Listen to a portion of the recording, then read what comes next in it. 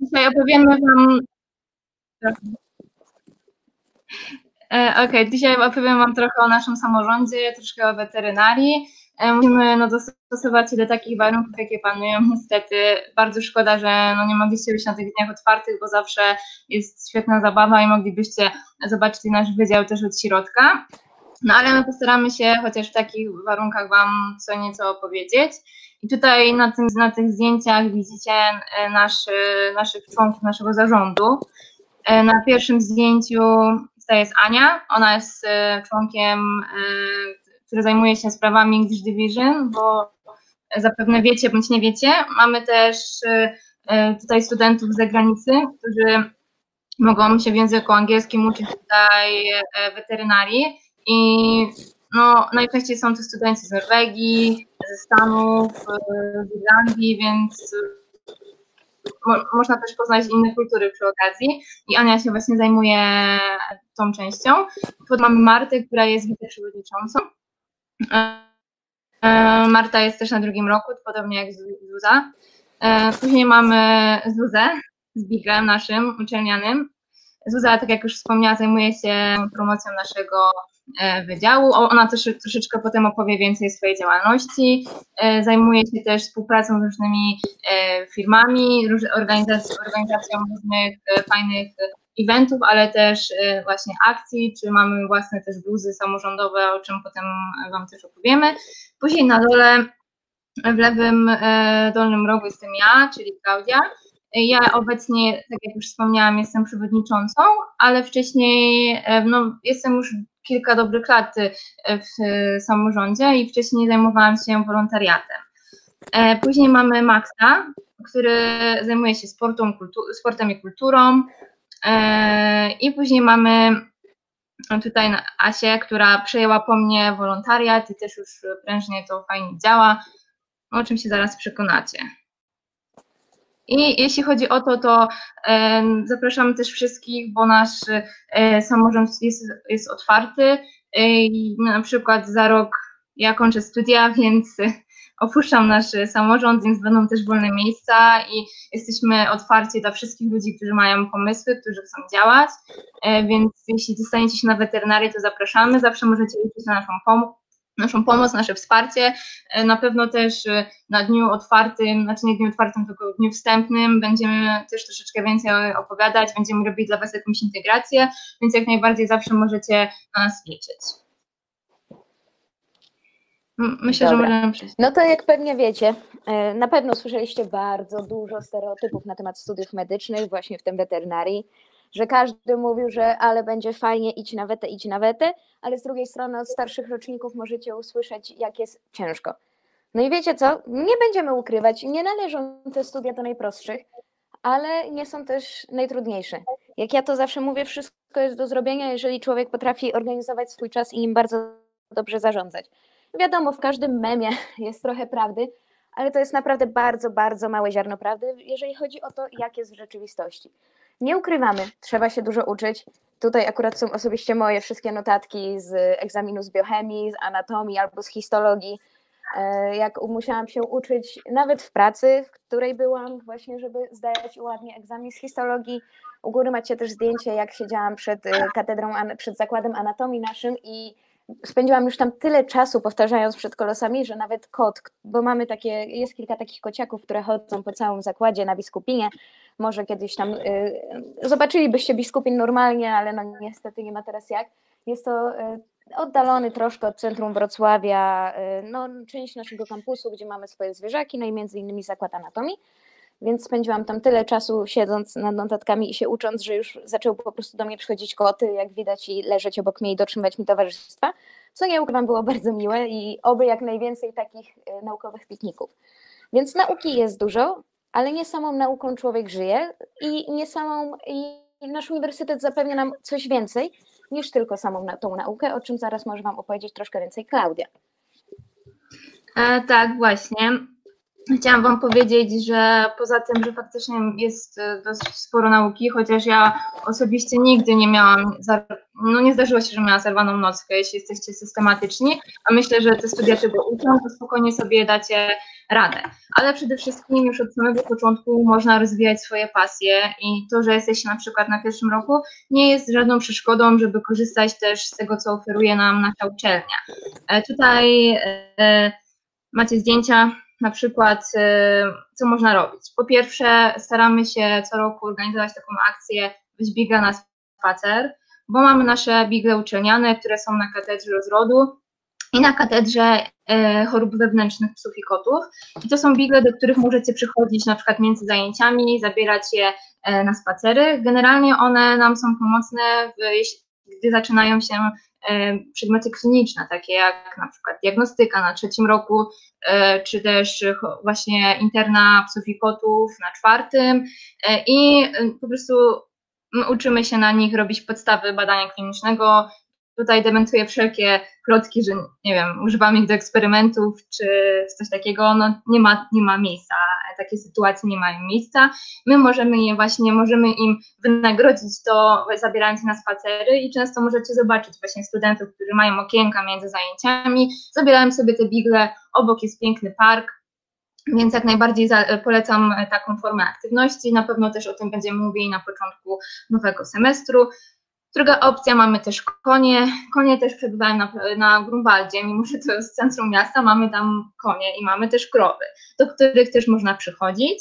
E, I e, można na przykład tutaj na zdjęciu widzicie mnie z Ankarą. Niestety no Ankara obecnie już przyszła na emeryturę i e, opuściła naszą uczelnię. To są też konie, które my również, również uczymy się na nich właśnie podstaw badania klinicznego i są, towarzyszą one nam na zajęciach, ale możemy też do nich przychodzić, możemy je właśnie wyczesywać, brać je na, brać je na spacer, oczywiście też wszystko za zgodą tutaj e, wcześniej e, osób, które się nimi opiekują.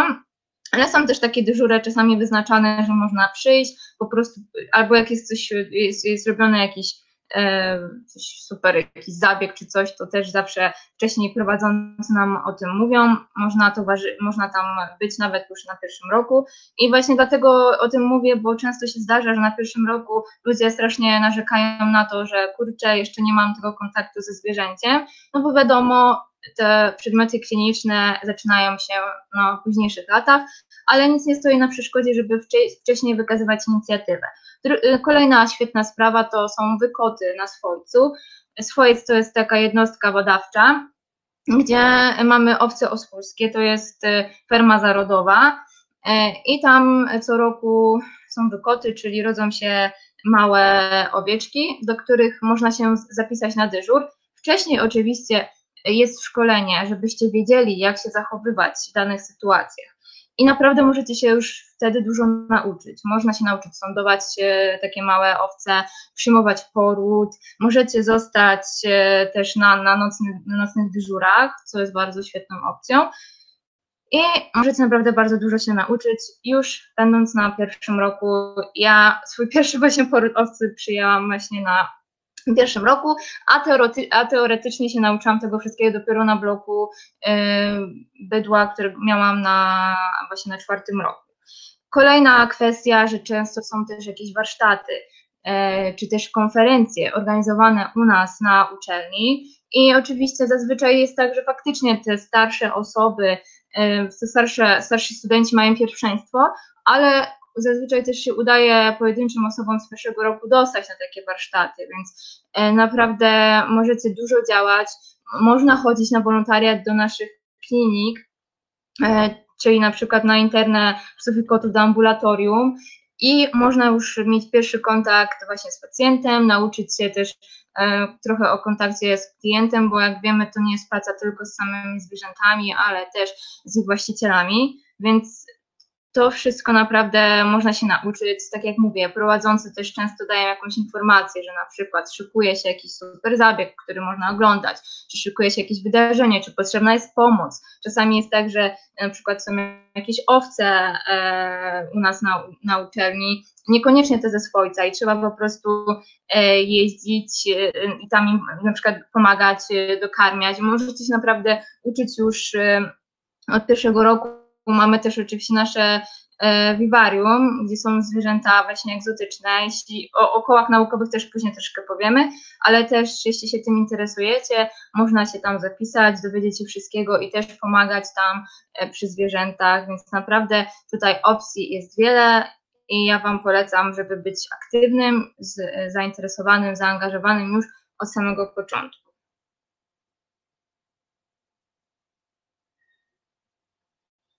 I tutaj Dobrze. Zuza. Tak, już miałam problem z mikrofonem, ale już jestem, jestem. Tak jak Klaudia Wam powiedziała trochę więcej o naszym wydziale i o tym, czym się zajmujemy, e, to ja teraz chciałabym powiedzieć stricte troszkę o naszym samorządzie. Jak widzicie teraz na slajdzie, mamy super bluzy wydziałowe. Naprawdę, nie kłamię, sama mam jedną w tym momencie na sobie i jest to najwygodniejsza rzecz, jaką posiadam chyba w swojej szafie. Dodatkowo nieraz, nie dwa byłam w niej na swojcu i uwierzcie, nic tak ładnie nie wygląda z małą owieczką, jak logo naszego wydziału. Także akurat bardzo, bardzo je polecam. Organizujemy mniej więcej taką akcję y, tych bluz wydziałowych dwa razy w roku, w semestrze letnim i zimowym. Nawet teraz, pomimo obecnej sytuacji, jaka panuje, nadal nie zwalniamy tempa i nadal można było składać chyba jeszcze tam miesiąc temu zamówienia na swoją bluzę wydziałową. Także pomimo tego, co się dzieje, staramy się bardzo, bardzo aktywnie działać. Kolejną rzeczą, która jest stosunkowo nowa, bo weszła, jeżeli dobrze pamiętam, w zeszłym roku w semestrze letnim, są nasze skarpetki wydziałowe. E, w, tym roku zostały one zaprojektowane przez jedną z naszych studentek, więc to jest w ogóle bardzo fajna opcja do też jakiegoś tam, wiecie, swojego rodzaju promocji dla uzdolnionych studentów, bo ten projekt, który widzicie na obrazku, te fioletowe skarpetki, są właśnie przez, naszą, przez naszą koleżankę Marię zaprojektowane i też y, skończyliśmy przed chwilą y, opcję przyjmowania zamówień na takie skarpetki, więc każdy student z naszego wydziału będzie mógł zaszpanować przed innymi skarpetkami z napisem Beta UPWR, bo jakbyście też nie wiedzieli, to jest nasz hashtag, po którym możecie nas znaleźć na Instagramie. Taka ciekawostka, bo właśnie mi się przypomniało, bo też mamy swoje konto, na którym rzucamy bardzo dużo fajnych rzeczy, także wpisujcie Beta UPWR, na pewno nas znajdziecie. Inną sprawą są bluzy medyczne z logiem wydziału. To jest coś genialnego, muszę się w to zaopatrzyć, ale czekałam grzecznie na jakieś przedmioty kliniczne, żeby ładnie się prezentować na uczelni, ale muszę przyznać, że to nie jest jedyny powód, dla którego chciałabym taki komplet medyczny mieć. Uważam, że będzie to super pamiątka, jak już skończę studia i będę miała coś, co będzie mi przypominać miło o tej uczelni, o tym wydziale, bo naprawdę bardzo miło jest mi teraz, więc chciałabym też tak wspominać to wszystko i uważam, że to jest jedna z takich najfajniejszych pamiątek, która do tego będzie bardzo pożyteczna i użyteczna w przyszłości. Z kolejnych rzeczy, jakimi się zajmujemy jako samorząd, są na przykład różnego rodzaju akcje. Wszystko, co widzicie w tym momencie, dotyczy obecnej sytuacji, no, jaka panuje na świecie. Na pewno słyszeliście o tym, że ludzie zaczęli no, pozbywać się swoich zwierząt domowych w obawie, że zarażają, przenoszą one wirusa no nie mogliśmy jako studenci weterynarii zostać bierni i patrzeć tylko i wyłącznie na to, co się dzieje. Dlatego postanowiliśmy pewnego dnia, tak rozmawialiśmy i tak sobie wpadliśmy na pomysł, słuchajcie, mamy takie zasięgi na różnych socjalach, każdy z nas osobno, my jako samorząd, musimy coś z tym zrobić. Więc stwierdziliśmy, tutaj też oprócz naszego samorządu, jak widać, są też nasi studenci. E, więc angażujemy do naszych działalności nie tylko nas samych jako zarząd, ale też wszystkich, wszystkich studentów. Więc przygotowaliśmy bardzo, no moim zdaniem, dobrą grafikę, która miała propagować to, że e, no żeby ludzie po prostu nie porzucali swoich zwierząt domowych, tak? Bo wydaje, też mi się, wydaje mi się, że o to też w tym wszystkim chodzi. Żebyśmy propagowali akcje dobre i żebyśmy mogli pomagać ludziom, którzy nie do końca są pewni niektórych, e, nie, albo nie posiadają wiedzy na niektóry temat i e, no i możemy im pomóc e, w edukacji po prostu. Po prawej stronie z kolei macie bardzo śmieszną moim zdaniem sklejkę, która miała pokazywać, że pomimo tych zajęć online i wszystkiego, co się teraz dzieje, nadal prężnie się uczymy i nadal prężnie zdobywamy wiedzę i chcemy dalej się rozwijać. Więc tu też jest taka ładna sklejka od studentów, którzy pokazują, jak wygląda ich nauka online. Jak widać, u niektórych idzie to przyjemniej, u niektórych mniej. Ja doskonale rozumiem, też czasami nie miałam już siły i wolałam sobie pójść w spanko, ale to jak wszyscy, ważne, żeby zachować ten balans. Kolejną rzeczą, jaką się zajmujemy, 4 e, kwietnia był Międzynarodowy Dzień Zwierząt Bezdomnych.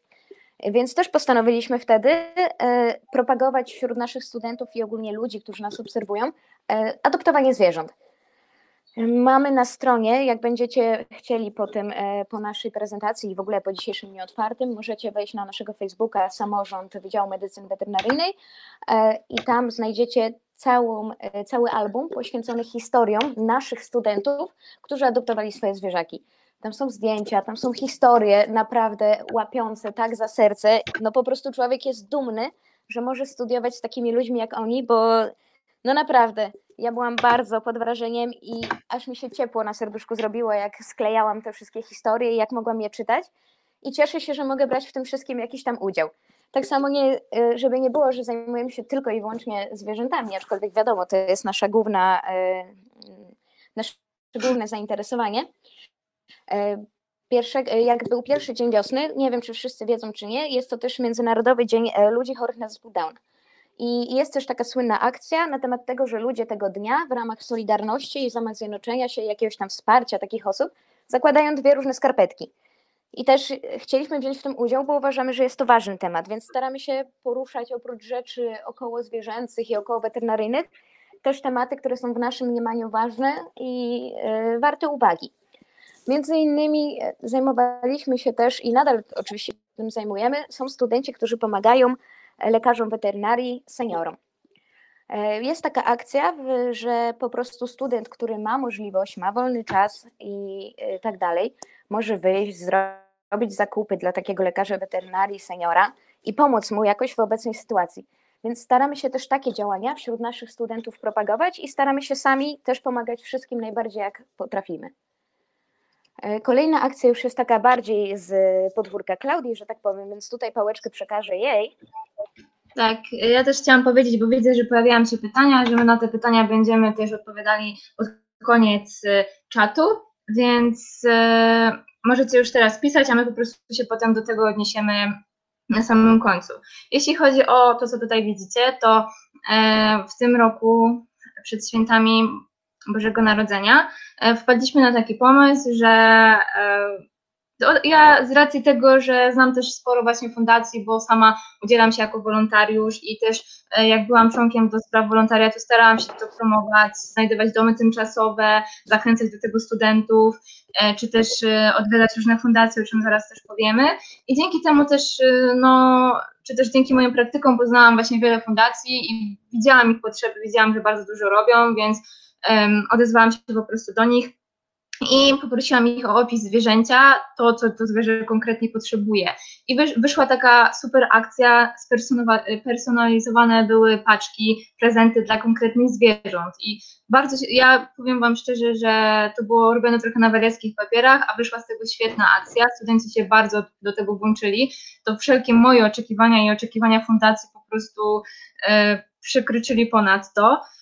Y, I było świetne, bo wiadomo, że jak y, ma się po prostu dać coś dla fundacji, to ludzie tak mm, różnie to wygląda, a tutaj mieli konkretne zwierzę i mogli oglądać jego zdjęcia, dowiedzieć się jego historii, to co konkretnie potrzebuje.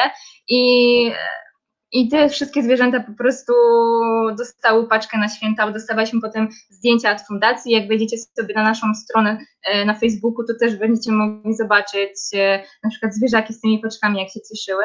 E, też studenci robią różne akcje typu na przykład u góry, u góry jest to zdjęcie z rzeczami, które zebrała nasza studentka, bo miała wesele i zamiast kwiatów poprosiła tutaj gości, żeby przynieśli po prostu jedzenie dla, dla zwierząt. I też ona nam to przekazała, a my już konkretnie do danej fundacji się odzywaliśmy. Jest tutaj też zdjęcie auta Zuzy i wyobraźcie sobie, że to jest chyba była to była jedna paczka dla jednego zwierzęcia. Tyle po prostu nasi studenci zebrali i było to, było to jedzenie naprawdę dobrej jakości, nie dostosowane do danego zwierzęcia, do też jego schorzeń, bo często to były zwierzęta schorowane. Więc e, ja mam nadzieję, że to będzie kontynuowane i tutaj też jest taka prośba do Was, że jeśli dostaniecie się na weterynarię, macie jakieś pomysły, chcecie działać, to proszę odzywać się do nas i wszelkie pomysły my pomożemy Wam w realizacji. Myślę, że można kolejne zdjęcie e, przejść. Tak, i tutaj, tutaj są te zdjęcia zwierzaków, e, które nam się udało pomóc. Jak, jak widzicie, tak? Ktoś chce coś powiedzieć? Halo? Okay. Ja was słyszałam coś. E, więc tutaj też widzicie, że są różne gatunki zwierząt. Nie skupialiśmy się tylko na właśnie na psach i kotach, odzywaliśmy się do różnych fundacji e, i po prostu każdy student no, mógł sobie wybrać też e, jakie, jakie, jakie zwierzę by chciał i takie obdawać. Kolejna, mm, kolejna nasza akcja była troszeczkę jakby nam właśnie ten koronawirus to zniszczył, bo wpadłam na taki pomysł, że będziemy po prostu jeździli bezpośrednio do fundacji i poznawali od, od kuchni tak naprawdę te fundacje, bo wiele studentów chciałoby coś działać, ale w sumie to się wstydzą, w sumie to, e, to się boją sami, e, sami pojechać, czy wziąć zwierzę na przykład na dom tymczasowy i po prostu stwierdziłam, że będziemy zabierali chętnych studentów i będziemy jeździć do takich fundacji. I na przykład przed całą tą jeszcze pandemią udało nam się pojechać do Poznania, e, to była super akcja naprawdę też, do Puchatego Patrolu, do Szynszyli. Ja osobiście mam stamtąd dwie adoptowane szynszyle, bardzo sobie cenię tą fundację i zabraliśmy też naszych tutaj kolegów, koleżanki z zootechniki, bo widziałam, widziałam też właśnie w komentarzach, że o zootechnikę też było pytanie. Staramy się właśnie też tutaj współpracować, jak najbardziej zootechnika też jest super kierunkiem i pojechaliśmy tam razem.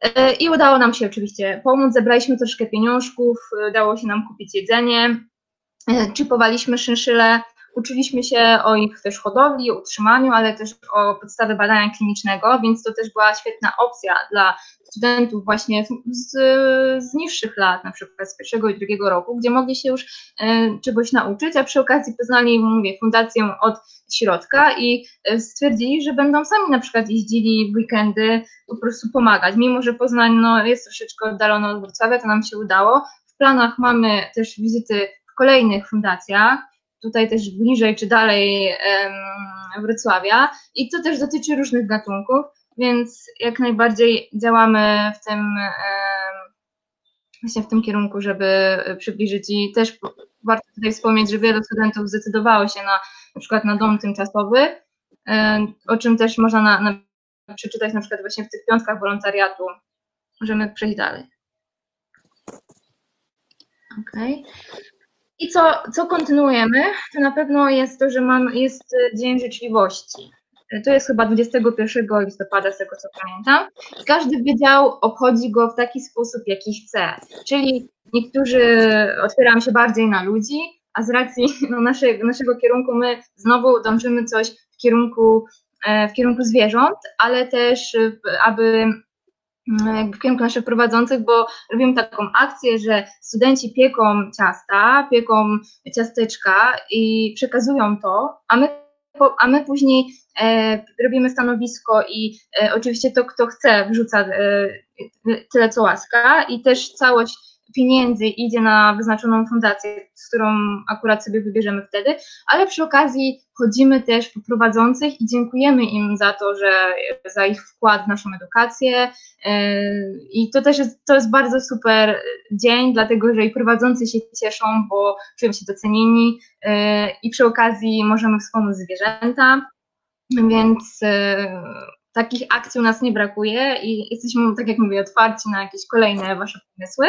No i mamy też tutaj Dzień Dawcy Szpiku, e, też e, u nas jest na stanowisko, tutaj akurat koło dziekanatu, jak widzicie na dole zdjęcia i e, zachęcamy ludzi, żeby się zapisali jako potencjalny dawca. Oczywiście wcześniej jest wszystko wytłumaczone i też jest dosyć spore zainteresowanie. Można się też zgłosić jako wolontariusz, żeby nam pomóc y, właśnie, żeby dotrzeć do tych ludzi.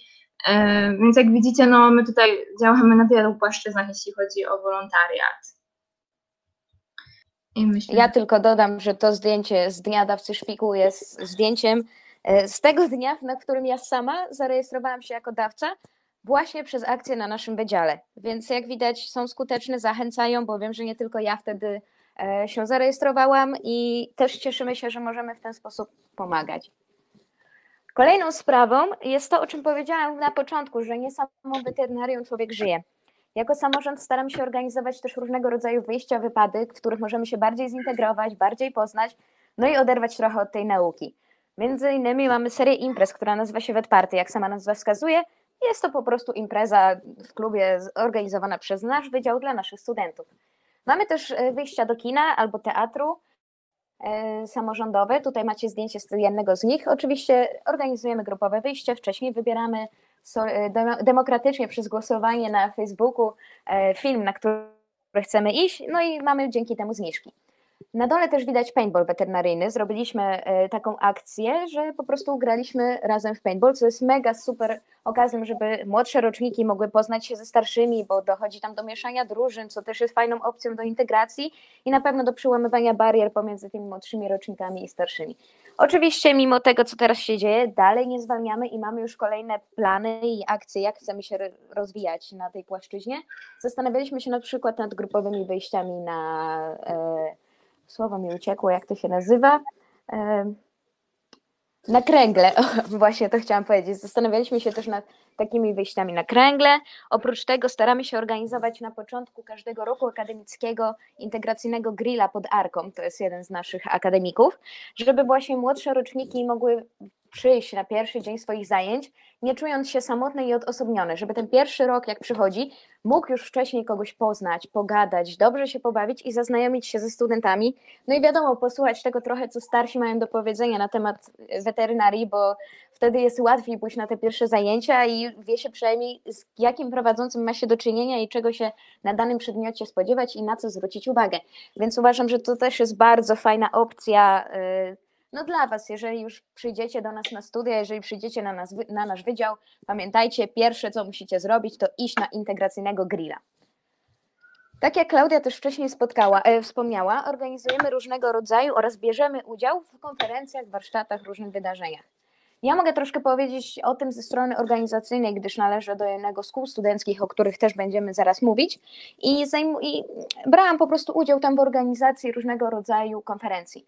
Akurat po prawej stronie na górze widzicie moje zdjęcie z Natalią Strokowską, może ktoś ją kojarzy z Instagrama, Vet No Limits albo Zwierz się.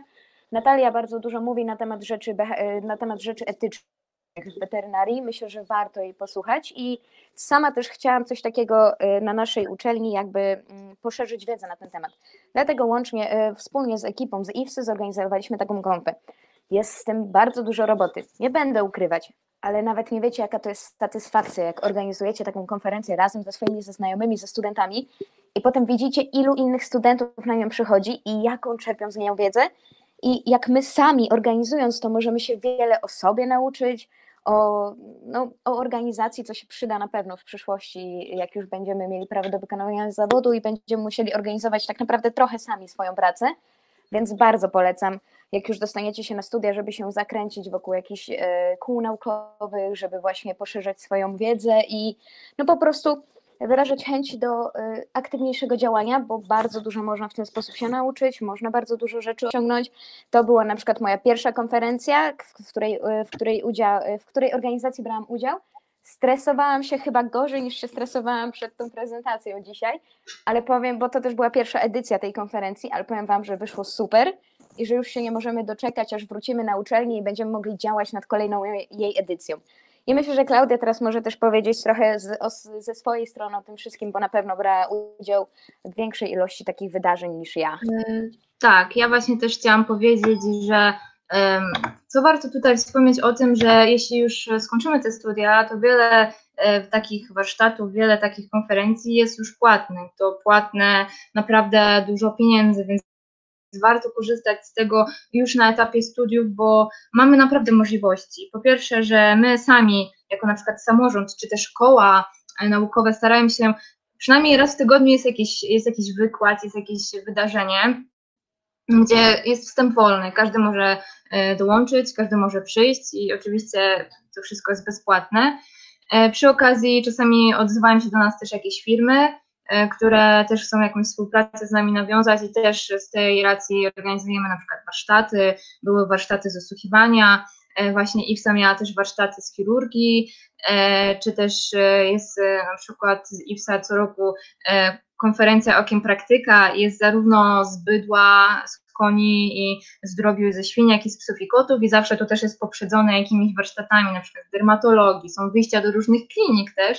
I to niekoniecznie są osoby tylko z wyższych lat, bo tak jak mówię, zawsze też się zdarzy, że te pojedyncze osoby z niższych lat również się na to dostają. E, I co też jest e, świetne, że jak na przykład zapiszecie się do IFSY, to to jest e, no, międzynarodowa taka organizacja zrzeszająca studentów i macie możliwość też wyjazd na wymianę, czy też możecie korzystać powiedzmy jest na przykład IFSA Poznań, IFSA Kraków i oni organizują jakieś wydarzenie i w ramach tego wy możecie tam też za darmo pojechać, a, a dodatkowo studenci są zawsze tacy życzliwi, że też jak się do nich odezwiecie, to starają się na przykład, nie wiem, znaleźć wam nocleg u jakiegoś innego studenta, więc naprawdę ta, ten kontakt między studentami też jest super i no mi się też zdarzyło właśnie być kilka razy na konferencjach właśnie poza terenem Wrocławia, E, ale no tak jak mówię, też organizujemy tutaj sami zawsze jakieś wydarzenia i też jak macie powiedzmy jakieś, e, jakieś znajomości, macie jakichś lekarzy, których sami lubicie, też możecie do nas to zgłaszać, my możemy ich zapraszać. Mieliśmy też swoją konferencję właśnie weterynaria od, A do Z na przykład i tam było też z różnych gatunków, nie skupialiśmy się konkretnie na, na danym gatunku e, i każdy mógł przyjść, posłuchać to, co akurat interesuje, więc no tak jak mówię, tutaj też nasz dziekan jest otwarty na różne takie wydarzenia, jeśli trzeba na przykład dofinansowanie czy coś zorganizować, to też nie ma z tym zazwyczaj problemu, więc no tak naprawdę wszystko zależy od nas, y, a tak jak Zuza wspomniała, ta taka organizacja wydarzenia nie jest zawsze łatwa, a my to właśnie dla Was robimy. I nawet teraz jak jest pandemia i już tutaj zgadniamy z prowadzącymi, żeby nam zrobili różne e, wykłady na przykład online dla studentów i też nie ma, nie ma problemu, Poza tym, co warto też wspomnieć, że jeśli zainteresuje Was dany przedmiot, no bo przez 6 lat to, tych przedmiotów jest bardzo dużo i poczujecie, że to jest akurat to na przykład, co byście chcieli robić, czy się tym za, zainteresowaliście, też prowadzący są otwarci na to, żeby do nich przyjść, zobaczyć jak to wygląda e, od kuchni, na przykład przyjść na katedrę i ja na przykład robiłam coś takiego, że mm, na APAC, czyli na to jest patomorfologia, jak zdarzył mi się jakiś ciekawy przypadek na praktykach, e, na przykład jakieś nowotwory, zmienione tkanki, ja to sobie brałam, szłam do pana profesora, z nim to badałam i no naprawdę oni poświęcają dla nas czas, żebyśmy się czegoś nauczyli i ja to bardzo doceniam i tak jak mówię, wiele zależy tak naprawdę od was, czy E, bo prowadzący często są bardzo otwarci na Wasze propozycje, czy też na otwieranie nowych kół naukowych, czy jakieś robienie właśnie spotkań dla osób, których interesuje dana tematyka. Tak, więc myślę, że możemy przejść dalej do slajdu z właśnie z kołami naukowymi. O, o poczekajcie, bo mi coś przeskoczyło. Tak. No dobrze. No to tak jak już mówiłam wcześniej, ja bardzo, bardzo, bardzo z całego serduszka polecam IFSE. Tak jak Klaudia wspomniała, jest to Stowarzyszenie Studentów Weterynarii, które zrzesza studentów z całego świata. Jest to super opcja, bo można poznać ludzi z innych krajów i dowiedzieć się, jak u nich wygląda studiowanie weterynarii. Ba, można nawet pojechać na wymianę.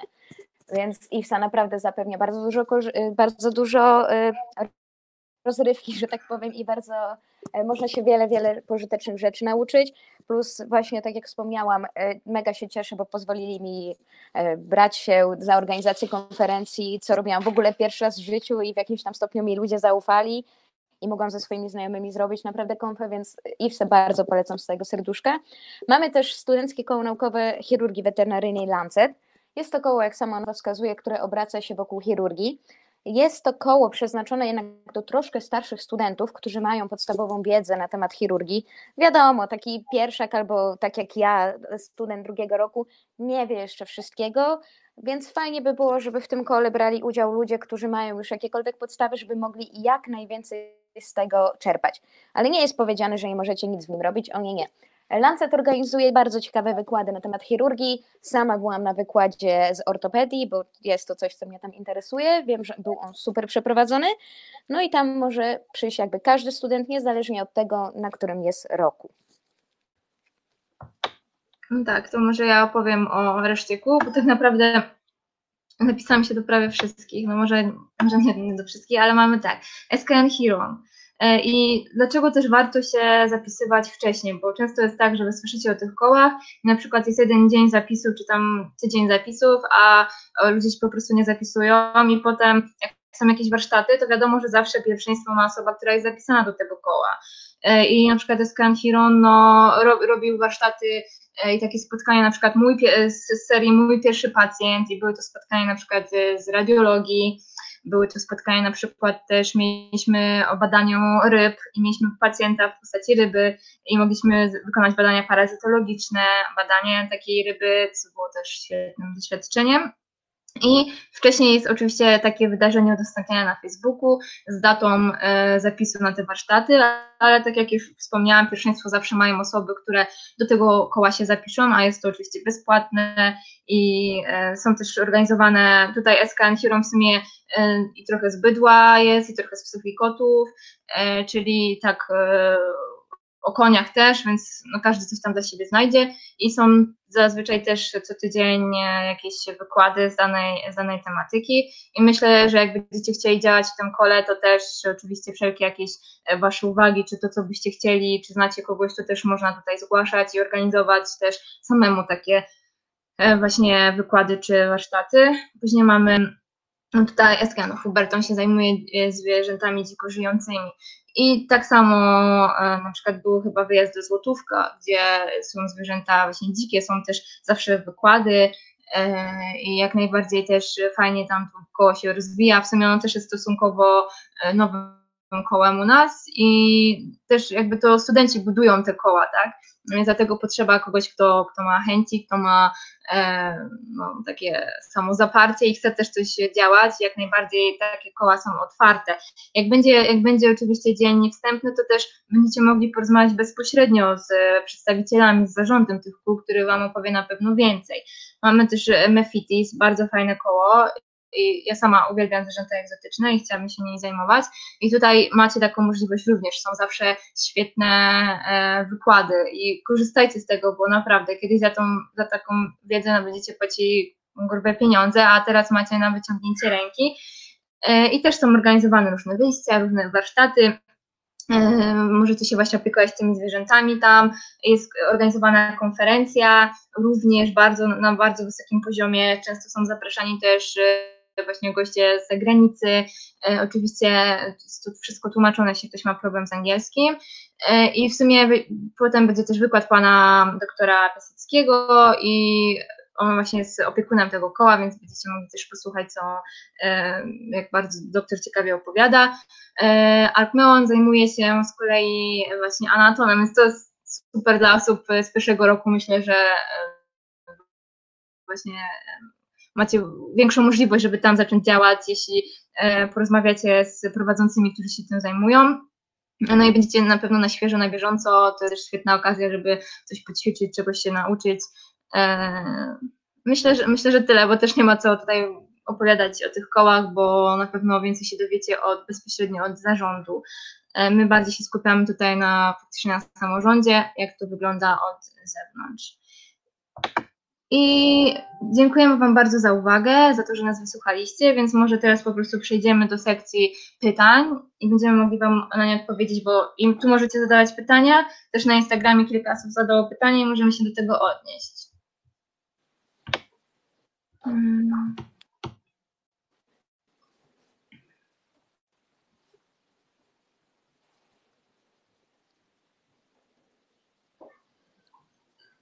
O rekrutacji to na pewno Panie opowiedzą, bo one są bardziej na bieżąco, ale widzę, że chyba tutaj odpisały też na to pytanie.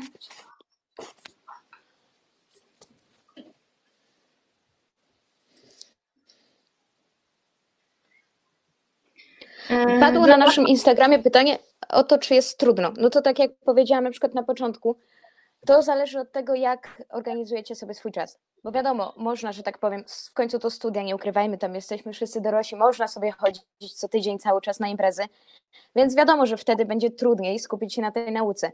Ale jeżeli ktoś jest zorganizowany i potrafi jakby swoim czasem, e, swoim, swój czas zaplanować tak, że ten i ten dzień poświęci na rekreację y, szeroko pojętą, ale jednak w te dni będzie się uczył, to serio, te studia nie są trudne. Jest to wszystko do zdania, jest to wszystko na spokojnie do nauczenia się, tylko naprawdę trzeba wybrać sobie priorytety i to, co jest ważniejsze. E, tutaj też padło pytanie, czy można się zajmować też końmi, jak najbardziej. Mamy konie zarówno tutaj na Placu Grunwaldzkim, jak i też na Biskupinie. E, jest koń Krasna, to jest kucyk chyba i można tam jeździć i w sumie osoby, które się interesują końmi, to jak najbardziej tam działają. E, można się zajmować końmi, można też porozmawiać z paniami doktorantkami, one są od koni i nawet z nimi jakieś tam prace naukowe myśleć o tym, My jak najbardziej mamy też konferencję e, poświęconą tylko koń, e, związaną tylko z końmi, więc no mówię, jakby każdy znajdzie coś dla siebie, bo są owce, konie, bydło, e, psy i koty również. Tutaj też jest pytanie, ile mniej więcej trzeba mieć z matury, żeby się dostać. To też jest w sumie pytanie tak naprawdę zależy od poziomu, bo różnie to wygląda. Ja też prowadzę swojego bloga, na którym możecie sobie znaleźć, jak wygląda mniej więcej punktacja na poszczególnych latach. E, I myślę, że no, średnio to jest e, właśnie 70%, 70% z obu, ale to też nie jest wyznacznik. Czasami e, pod sam koniec na przykład ten próg faktycznie spada i studenci są tam, już, już myślą, że się nie dostali, a są jeszcze brani z listy. I pamiętajmy, że jest tutaj są studia stacjonarne i niestacjonarne. Na niestacjonarnych studiach jest nieco niższy próg, ale też jest, czyli nie są przyjmowani tam wszyscy. E, I tutaj od razu wspomnę, że przez 3 lata płaci się, to jest chyba 6 tysięcy obecnie. E, ale co, co, i na pewno też od razu chcę powiedzieć, że nie ma opcji przenieść się za dobre wyniki, bo coś takiego nie jest e, stosowane. Wiem, że takie plotki się pojawiają, dużo osób o to pyta, ale nie ma takiej możliwości. Ale jeśli się dobrze uczycie i na, na przykład uda Wam się zdobyć stypendium rektora, macie dobre wyniki w nauce, to można złożyć takie podanie, gdzie dziekan, a potem rektor może E, obniżyć opłatę o połowę. Więc to też jest super opcja, warto się uczyć, mieć dobre wyniki. E, tutaj ktoś pisze, że nie było słychać e, na temat kwoty za studia. No to w tym momencie ja jestem na studiach niestacjonarnych i płacę za jeden semestr 6 tysięcy złotych.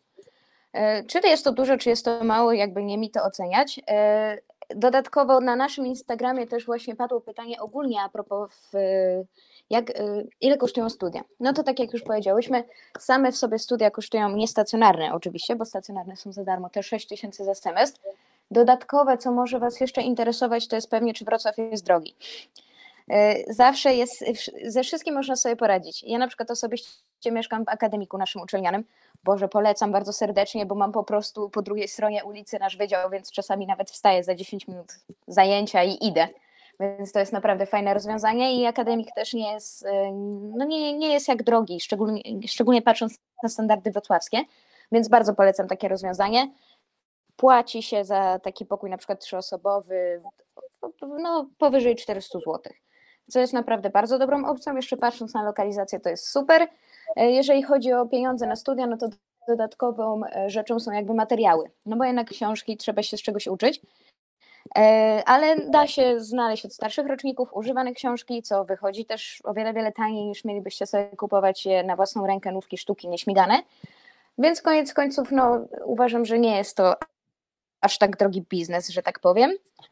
Czy coś jeszcze na temat e, kwoty i pieniędzy no chyba, i chyba tego, czy studia są drogie, można powiedzieć? Dużo osób o to pyta, czy e, na przykład tacy studenci studiów niestacjonarnych są traktowani gorzej, albo tak naprawdę różnica jest tylko taka, że po prostu płacicie, a studia są w tym samym trybie, czyli to jest dziennie, to nie są studia wieczorowe ani zaoczne, bo warto wspomnieć, że nie ma zaocznej weterynarii e, i nie ma na pewno takich jakichś, wiem, że są takie plotki, że na przykład są gorzej traktowani, że są jakieś uwagi. E, nigdy się z tym nie spotkałam i myślę, że no coś takiego nie, nie, nie istnieje po prostu, więc... E, tak, ja też od siebie mogę dodać, jako że jestem no jakby na świeżo z tym wszystkim, Jedyne, czego możecie się obawiać, albo przynajmniej o czym ludzie mówią, to to jest to, jak siebie nawzajem studenci traktują, stację i niestację. I jeżeli cokolwiek słyszeliście złego na temat studentów niestacjonarnych albo na temat studentów stacjonarnych od tych drugich, nie wierzcie w to. Ja sama mam naprawdę bardzo dużą ilość kumpli i naprawdę bliskich znajomych ze studiów stacjonarnych. Nigdy w życiu nie spotkało mnie z ich strony no żadna przykrość, tak, że jestem na studiach niestacjonarnych, więc uważam, że ludzie tutaj też są super. Tutaj też jest pytanie o pracę i pracę nie jest, y, nie jest ciężko znaleźć. Moim zdaniem właśnie we Wrocławiu jest łatwo znaleźć pracę, tylko też jest pytanie, jak kto potrafi zarządzać swoim czasem, czy, e, czy potrafi po prostu połączyć pracę i studia. Myślę, że na późniejszych latach jest to nieco łatwiejsze, e, bo na początku jak przychodzicie, to jest nowe miasto, jest nowe no, uczelnia, musicie z tym wszystkim poznać po prostu tryb studiowania, ale jak najbardziej są też ludzie, którzy już na pierwszym roku e, pracują, nie ma z tym problemu. Mało tego, można nawet znaleźć pracę pokrewną e, z przyszłym zawodem, czyli na przykład e, pracę jako technik, pracę na recepcji w, w klinice weterynaryjnej, czy, czy no, zawód jakiś właśnie związany w jakimś tam stopniu z weterynarią, ale generalnie no jest, jakby nie brakuje pracy we Wrocławiu, tylko właśnie pytanie, czy, e, czy ktoś po prostu podoła, ale to mi się wydaje, że nie jest problem, bo studenci normalnie pracują przez całe studia, czasami sami się utrzymują. E, warto też wspomnieć, że jest system stypendialny, mamy stypendium rektora i stypendium właśnie e, socjalne dla osób, które znajdują się w ciężkiej sytuacji finansowej. Można też zawsze w losowych przypadkach złożyć o zapomogę. Więc jak najbardziej e, na przykład ja przez wszystkie lata miałam stypendium e, rektora i jest to kwota około 600 zł, więc e, no dosyć fajna kwota. To też jest oczywiście uzależnione od tego, jakie to ma wyniki bo to jest system punktowy, za, zarówno za średnią, jak i też za właśnie prace naukowe i tak dalej, więc myślę, że to wszystko się wydaje takie ciężkie na początku, ale jak już się wdrożycie, przyjdziecie na studia, zobaczycie, że jest wiele możliwości i możecie też liczyć na pomoc na pewno. Tutaj widzę, że padło na czacie pytanie a propos praktyk chodzenia na wolontariat do przychodni weterynaryjnych. Jak najbardziej tak, zarówno ja, Klaudia, jak i w sumie chyba wszyscy członkowie naszego zarządu i większość moich znajomych studentów y, chodzimy sobie na wolontariaty do, y, do gabinetów weterynaryjnych. Czy jest to łatwe, czy trudne, to już chyba zależy od miasta, w którym się mieszka i od swojego podejścia do tego wszystkiego, bo ja wróciłam po pierwszym roku studiów do domu, bardzo zajarana tym wszystkim, co się dzieje, co robię i co mnie czeka. No i poszłam sobie tak o po prostu od czapy, że tak powiem, do gabinetu obok, do którego chodziłam nieraz, nie dwa ze swoim prywatnym psem. I tak od słowa, od słowa, i tak od słowa do słowa spędziłam tam całe wakacje, spędzam tam każdy wolny moment, wszystkie święta, wszystkie wolne. W te wakacje na pewno, jak się cała sytuacja uspokoi, dalej tam wrócę i będę chciała to kontynuować. Więc dla chcącego nic trudnego. Wiadomo, może tak być, że ktoś wam odmówi za pierwszym razem, ale no, nie możecie się poddawać, tak? Jak odmówili wam w miejscu A, to idźcie próbować do miejsca B. Naprawdę wszyscy mówią o szczęściu na studiach i w życiu, a to nie to się liczy tylko upór. Jak ktoś wam rozpowie nie, to idźcie gdzie indziej. Warto też wspomnieć, że na samej uczelni już możecie też coś robić, bo mamy też tam swoje kliniki, ambulatoria. E, no, problem jest taki, że zawsze pierwszeństwo mają stażyści, czyli osoby na piątym, szóstym roku, ale zdarza się, że właśnie tak jak Zuza mówi, ktoś ma upór, chodzi i, i mamy tam i klinikę chirurgii, i ambulatorium sobie kotów, więc jak najbardziej e, można tam chodzić i też się czego nauczyć. E, czasami prowadzący też są czynnymi lekarzami, klinicystami i też właśnie jak ktoś się złapie dobry kontakt, będzie wykazywał inicjatywę, to też tacy prowadzący mogą zaprosić na przykład do, do kliniki, czy można się zapytać, e, czy może, można przychodzić. Myślę, że no nie ma z tym jakiegoś większego problemu. To jest jeszcze pytanie, jakie są różnice jeszcze między studiowaniem stacjonarnym i stacjonarnym. No ja myślę, że poza, poza tym, że się płaci, to, to nie ma żadnych różnic, naprawdę. Jest, jest ten sam program, te same przedmioty, ci sami prowadzący, też dzienny tryb studiowania, więc no to się nawet, e, tak jak mówię, po trzecim roku prze, automatycznie, jeśli zdacie trzeci rok, jesteście przenoszeni na tryb stacjonarny wszyscy, czyli od czwartego roku już nie ma po, podziału na stacjonarnych i niestacjonarnych i na dyplomie tak samo jest napisane, że skończyliście te, no, stacjonarnie, tak? Nie ma, nie ma wzmianki o tym, że zaczynaliście od trybu niestacjonarnego. Więc Jeśli chodzi o, czy na zootechnice są możliwe praktyki w zoo, tak, właśnie dużo osób z zootechniki też chodzi i my na przykład mamy praktyki hodowlane, gdzie tutaj no, nie możemy do zoo, tylko musimy bardziej, gdzie są zwierzęta gospodarskie. Więc no, zootechnika na pewno ma też ten plus, że oni prędzej mogą pójść do tego zoo niż my na praktyki.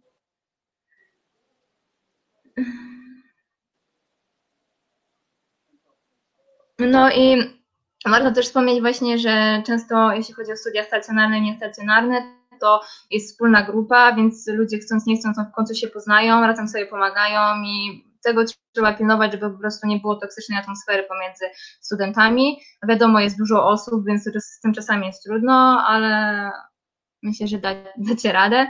E, było chyba też pytanie, czy są jakieś grupy, gdzie można, nie wiem, kupić materiały albo się czegoś dowiedzieć. My mamy taką tablicę weterynaryjną.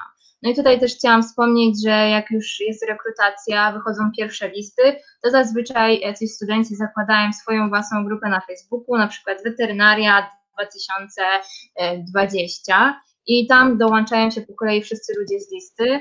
Dołączają się też starsi, więc od razu pojawiają się pierwsze propozycje na przykład od sprzedania materiałów, kupienia kości, e, kupienia książek. E, I na pewno do, dołączamy się też my jako samorząd, gdzie Was wprowadzamy, mówimy Wam, mamy też taki przygotowany jakby plik, gdzie macie po kolei czego się spodziewać po każdym przedmiocie, e, gdzie co warto kupić, opisy, więc my Was też wprowadzamy. Później jest dzień wstępny, po dniu wstępnym zazwyczaj jest też integracja, na której też my jesteśmy, więc jakby pomagamy Wam wdrożyć się do tego studiowania. Nie musicie się tego obawiać.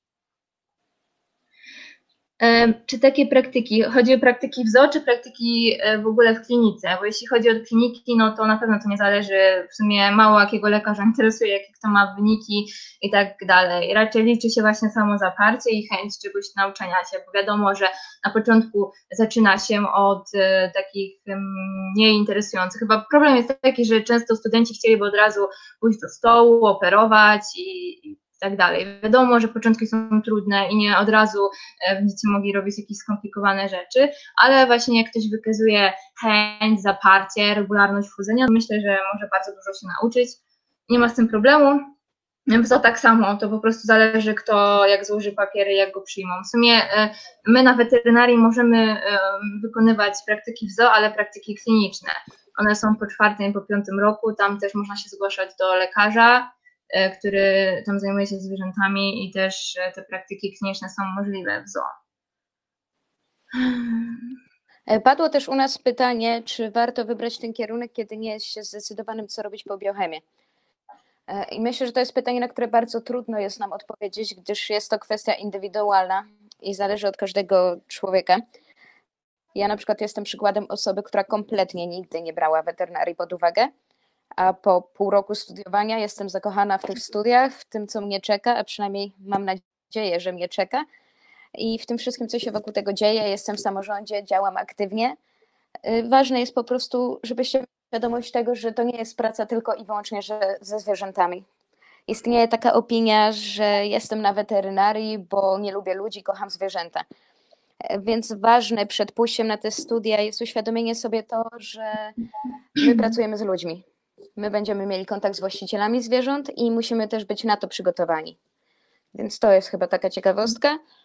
E, tutaj jest pytanie. Poza tym też warto, warto powiedzieć, że po weterynarii jest wiele tak naprawdę ścieżek, które można obrać. To nie jest tak, jak zapowiedziała, tylko praca ze zwierzętami, ale można też diagnostyka laboratoryjna, firmy farmaceutyczne.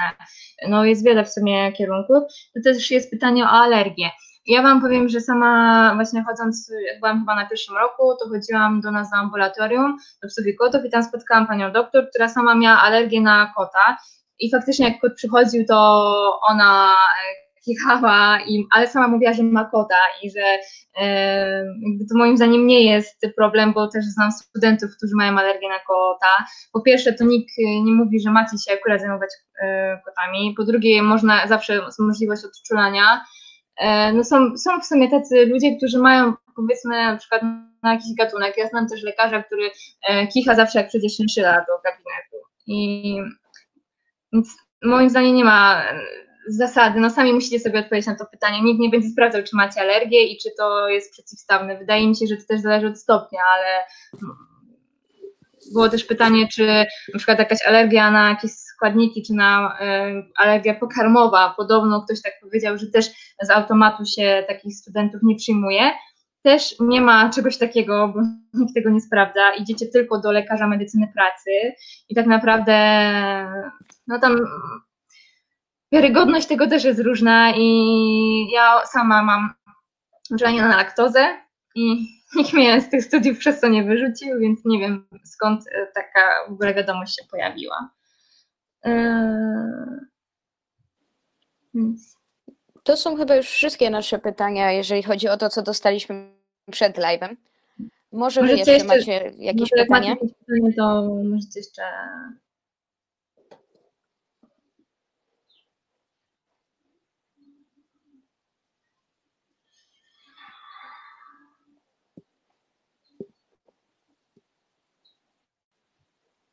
A jak coś, to też y, e, możecie zawsze e, pisać do nas, e, czy na Facebooku. Ja się nazywam Klaudia Kołaczkiewicz.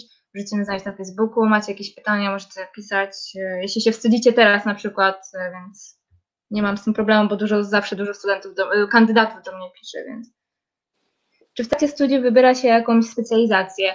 No i to właśnie jest taki problem, bo często jest tak, że studenci przychodzą i tak naprawdę nie wiedzą, czego chcą. Są takie osoby, które zaczynają, mówią, nie, ja będę psy, tylko psy i koty, a potem po studiach zmieniają e, zdanie. Tak naprawdę to są studia, żebyście mogli próbować wszystkiego po trochu. Mamy blok z psów blok z bydła i przybywaczy, blok z koni, E, można wybrać fakultety zwierząt egzotycznych i to wy sami decydujecie, a studia są po to, żeby przygotować was jakby z każdej dziedziny, żebyście umieli pomóc każdemu zwierzęciu e, i uczycie się o wszystkich gatunkach, więc to też nie liczcie na to, że chcecie na przykład zajmować się tylko końmi, to że nie będziecie się uczyli o psach i o bydle, bo no niestety tak jest, że już od samej anatomii uczycie się szkieletu i anatomii e, różnych gatunków, nie tylko jednego, więc specjalizację tak naprawdę obiera się dopiero po, po studiach i kiedy pracuje się dwa lata w zawodzie i wtedy można wybrać, jest, są różne specjalizacje, ale też nikt nie każe, e, żeby ktoś miał specjalizację, więc to też od Was zależy.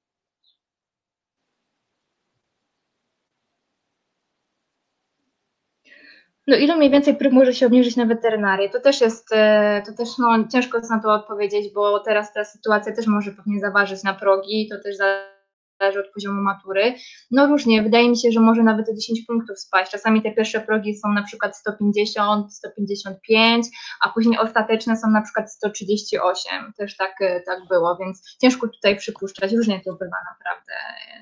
Moja podpowiedź co do progów. Przepraszam, ale spadł mi mikrofon, już się włączam z powrotem.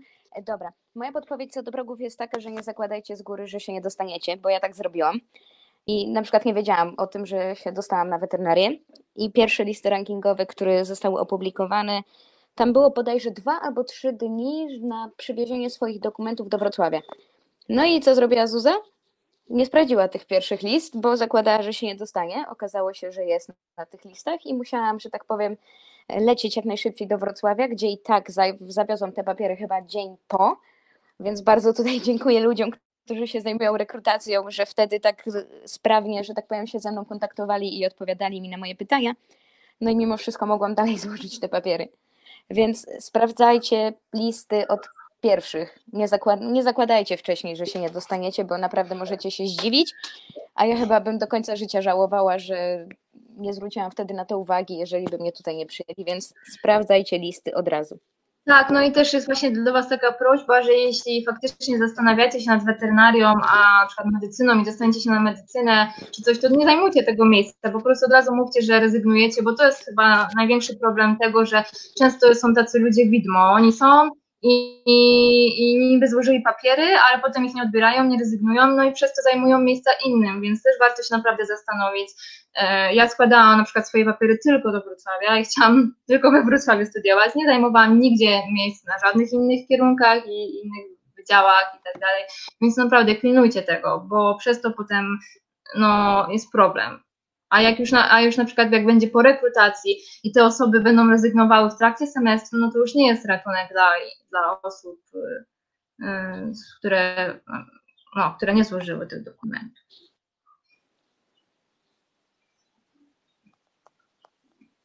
Nie wiem, czy są jeszcze jakieś pytania? Czy live będzie nagrany?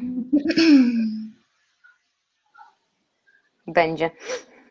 Także będziecie mogli jeszcze wrócić do tego, co mówiłyśmy.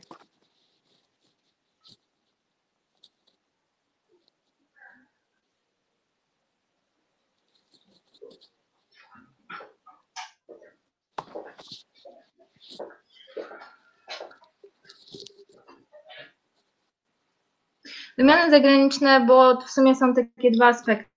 Mamy wymiany zagraniczne, na przykład z IFSy, wtedy wyjeżdżamy sobie powiedzmy na tydzień na dany wydział i tam studenci nas przyjmują i możemy poznać wydział, możemy mieć różne zajęcia, ale są też takie wymiany jak Erasmus. Mamy Erasmus i Erasmus+.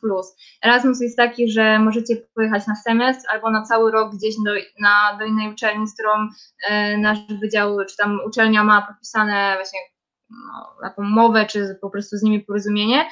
I tam możecie na przykład studiować rok, nie wiem, w, Brnie, e, w Budapeszcie, na różnych innych wydziałach e, weterynarii e, w innych krajach. A z kolei Erasmus Plus jest wymianą taką, że jedziecie za, za granicę na praktyki, na przykład na trzy miesiące, na dwa miesiące do danej kliniki w trakcie trwania waszych praktyk wakacyjnych. I tam też, jeśli się zakwalifikujecie do tego programu, no to też dostajecie właśnie w zależności od jakiego kraju pieniądze i pomoc też w pewnym stopniu od uczelni, więc też jest super, ludzie z tego korzystają. Czy są osoby, które studiują WT i inny kierunek równocześnie? Są. Ja osobiście znam takich ludzi, ale do nich nie należy. Mówią na pewno, że jest trudniej, e, ale wszystko da się dopasować. Istnieje opcja zorganizowania indywidualnego planu zajęć, żeby no jak najlepiej pogodzić jeden kierunek z drugim kierunkiem.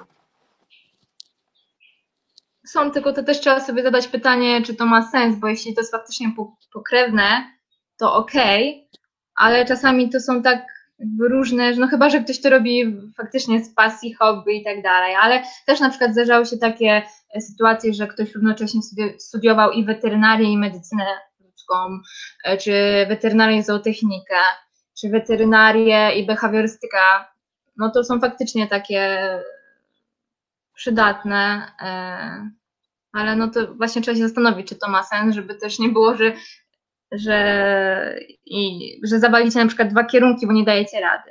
Ale zawsze można też wziąć dziekankę na przykład e, i na przykład rok przerwy w studiach też tak ludzie robią. W czasie wakacji oprócz praktyk są jeszcze jakieś aktywności no to e, nie, nie na, jakby też nie na każdym roku są praktyki, bo praktyki są po drugim roku, są to praktyki hodowlane, po czwartym i po piątym roku są to praktyki kliniczne i też praktyki w inspekcji weterynaryjnej w rzeźni. E, I no, jakby wydział jest otwarty, e, prowadzący normalnie pracują, są otwarte normalnie kliniki, więc jeśli ktoś ja na przykład mam mieszkanie we Wrocławiu i, i, lubię sobie zostać we Wrocławiu. I wtedy faktycznie jest mniej studentów, więc możecie coś robić, ale nie jest to obligatoryjne. Możecie to robić tylko sami dla siebie. A nie jest, jakby nie jest przymusu.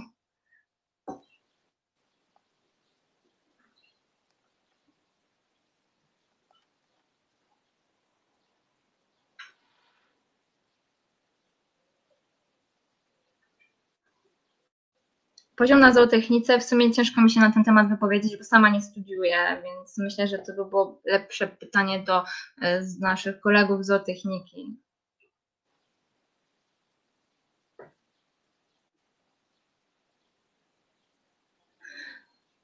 Tak, właśnie zootechnika jakby jest bardziej pod tym względem, oni więcej wiedzą o żywieniu, mają też dłużej te wszystkie takie przedmioty, e, tak jak tutaj właśnie Pani napisała. Jak mniej więcej wygląda plan? Czy są zajęcia od rana do nocy? E, zdarza się tak, że na przykład jednego dnia zaczynamy o godzinie 8 rano, a kończymy o godzinie załóżmy 19, 18, ale nie jest tak, że mamy te zajęcia ciągiem wtedy. Z reguły podczas, A... podczas dnia można mieć okienka. Na spokojnie można wtedy wrócić do akademika, do domu, zjeść coś, chwilę odpocząć. Więc nie jest tak, że zajęcia trwają od rana do nocy ciągiem. Jakby też warto wspomnieć, że są różne godziny, na co też musicie się nastawić, bo na przykład ja miałam ćwiczenia e, z interny koni o 6.45. Tak, tak też można. I zdarza się, że kolokwia są na przykład o godzinie 20 czasami, bo po prostu nie jesteśmy w stanie dopasować sobie samo jako studenci innego terminu, który pasowałby wszystkim.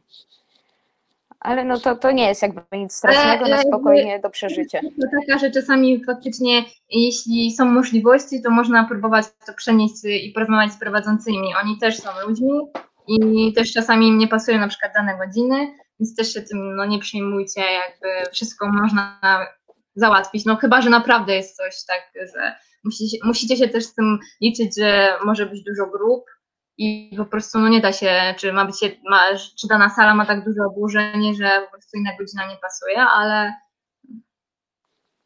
pierwszy rok jest bardzo trudny. Myślę, że mm, z perspektywy czasu moim zdaniem nie jest trudny, ale jest trudny pod tym względem, że zaczynacie. E, myślę, że jest taki problem, że na przykład w liceum często było tak, że studenci, do, znaczy no, uczniowie dostawali na przykład wszystko na tacy, dostawali notatki, wszystko, co mają sobie się czego nauczyć, wszystko po prostu mieli takie jakby gotowe. E, u mnie w liceum na przykład nie było też odpowiedzi ustnych. I jest potem taki problem, że często studenci mają na przykład problem właśnie z odpowiedzią ustną, którą jest, jest, jest w sumie jest na wielu przedmiotach odpowiedź ustna, e, że trzeba się samemu przygotowywać, samemu uczyć, mieć książki, korzystać z wielu źródeł, korzystać z artykułów w języku na przykład angielskim i bardzo wiele zależy od Waszej własnej pracy i wkładu. I to może być na początku trudne, żeby się przestawić właśnie z takiego nauczania w liceum, a nauczanie na studiach. I to, że też jesteście w obcym mieście na przykład, no to takie rzeczy się nakładają, ale wydaje mi się, że nie jest jakoś bardzo trudny. Ja miło wspominam pierwszy rok. No ja jestem w sumie w miarę świeżo po tym pierwszym roku i y, każdy na przykład tak straszył anatomią, bo to wiecie, coś takiego strasznego i dziwnego się wydaje, jeżeli ktoś nie ma z tym do czynienia na co dzień. Dla mnie był to chyba najprzyjemniejszy przedmiot na pierwszym roku. I tak właśnie nawiązując do następnego pytania, jaki jest najgorszy przedmiot do zaliczenia, chyba to jest kwestia bardzo indywidualna i zależy od, od tego, jakie masz predyspozycje i co ci lepiej, że tak powiem, wchodzi. Na przykład dużo osób na pierwszym roku uwielbiało histologię, a ja miałam osobiście z nią problem. Więc nie jest to taka kwestia, na którą możemy odpowiedzieć, że jakiś przedmiot jest najgorszy, bo to wszystko zależy od tego, jak ty jesteś w stanie się tego przedmiotu nauczyć, no i czy jest on dla ciebie łatwy czy trudny do przyswojenia.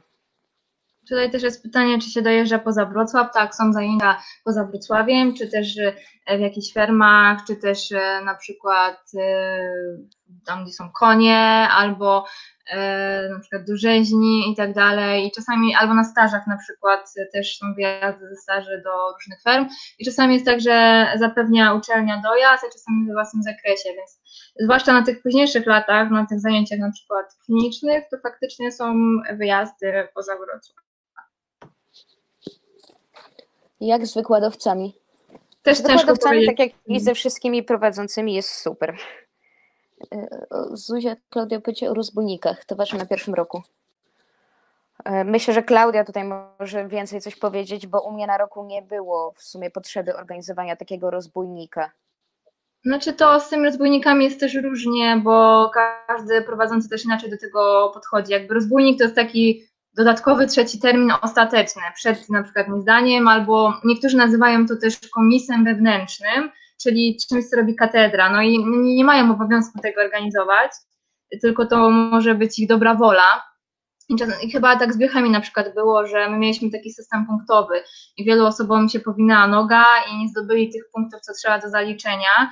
E, I potem na końcu semestru było rozbójnik całego semestru, czyli już nie, na przykład powiedzmy na biochemii są 3-4 koła, e, w kolokwia, czyli takie sprawdziany, i na przykład nie zaliczyliście tylko jednego, to teraz ten rozbójnik jest ze wszystkiego.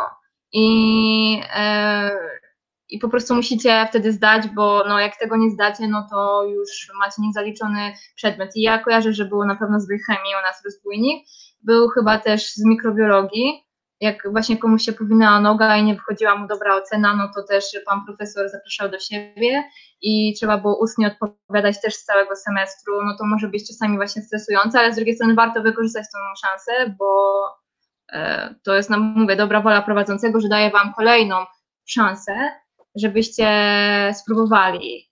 Warto też pamiętać, że mm, chyba musi być minimum jeden ustny e, sprawdzian przed e, przed tym, jak wam nie zaliczą przedmiotu.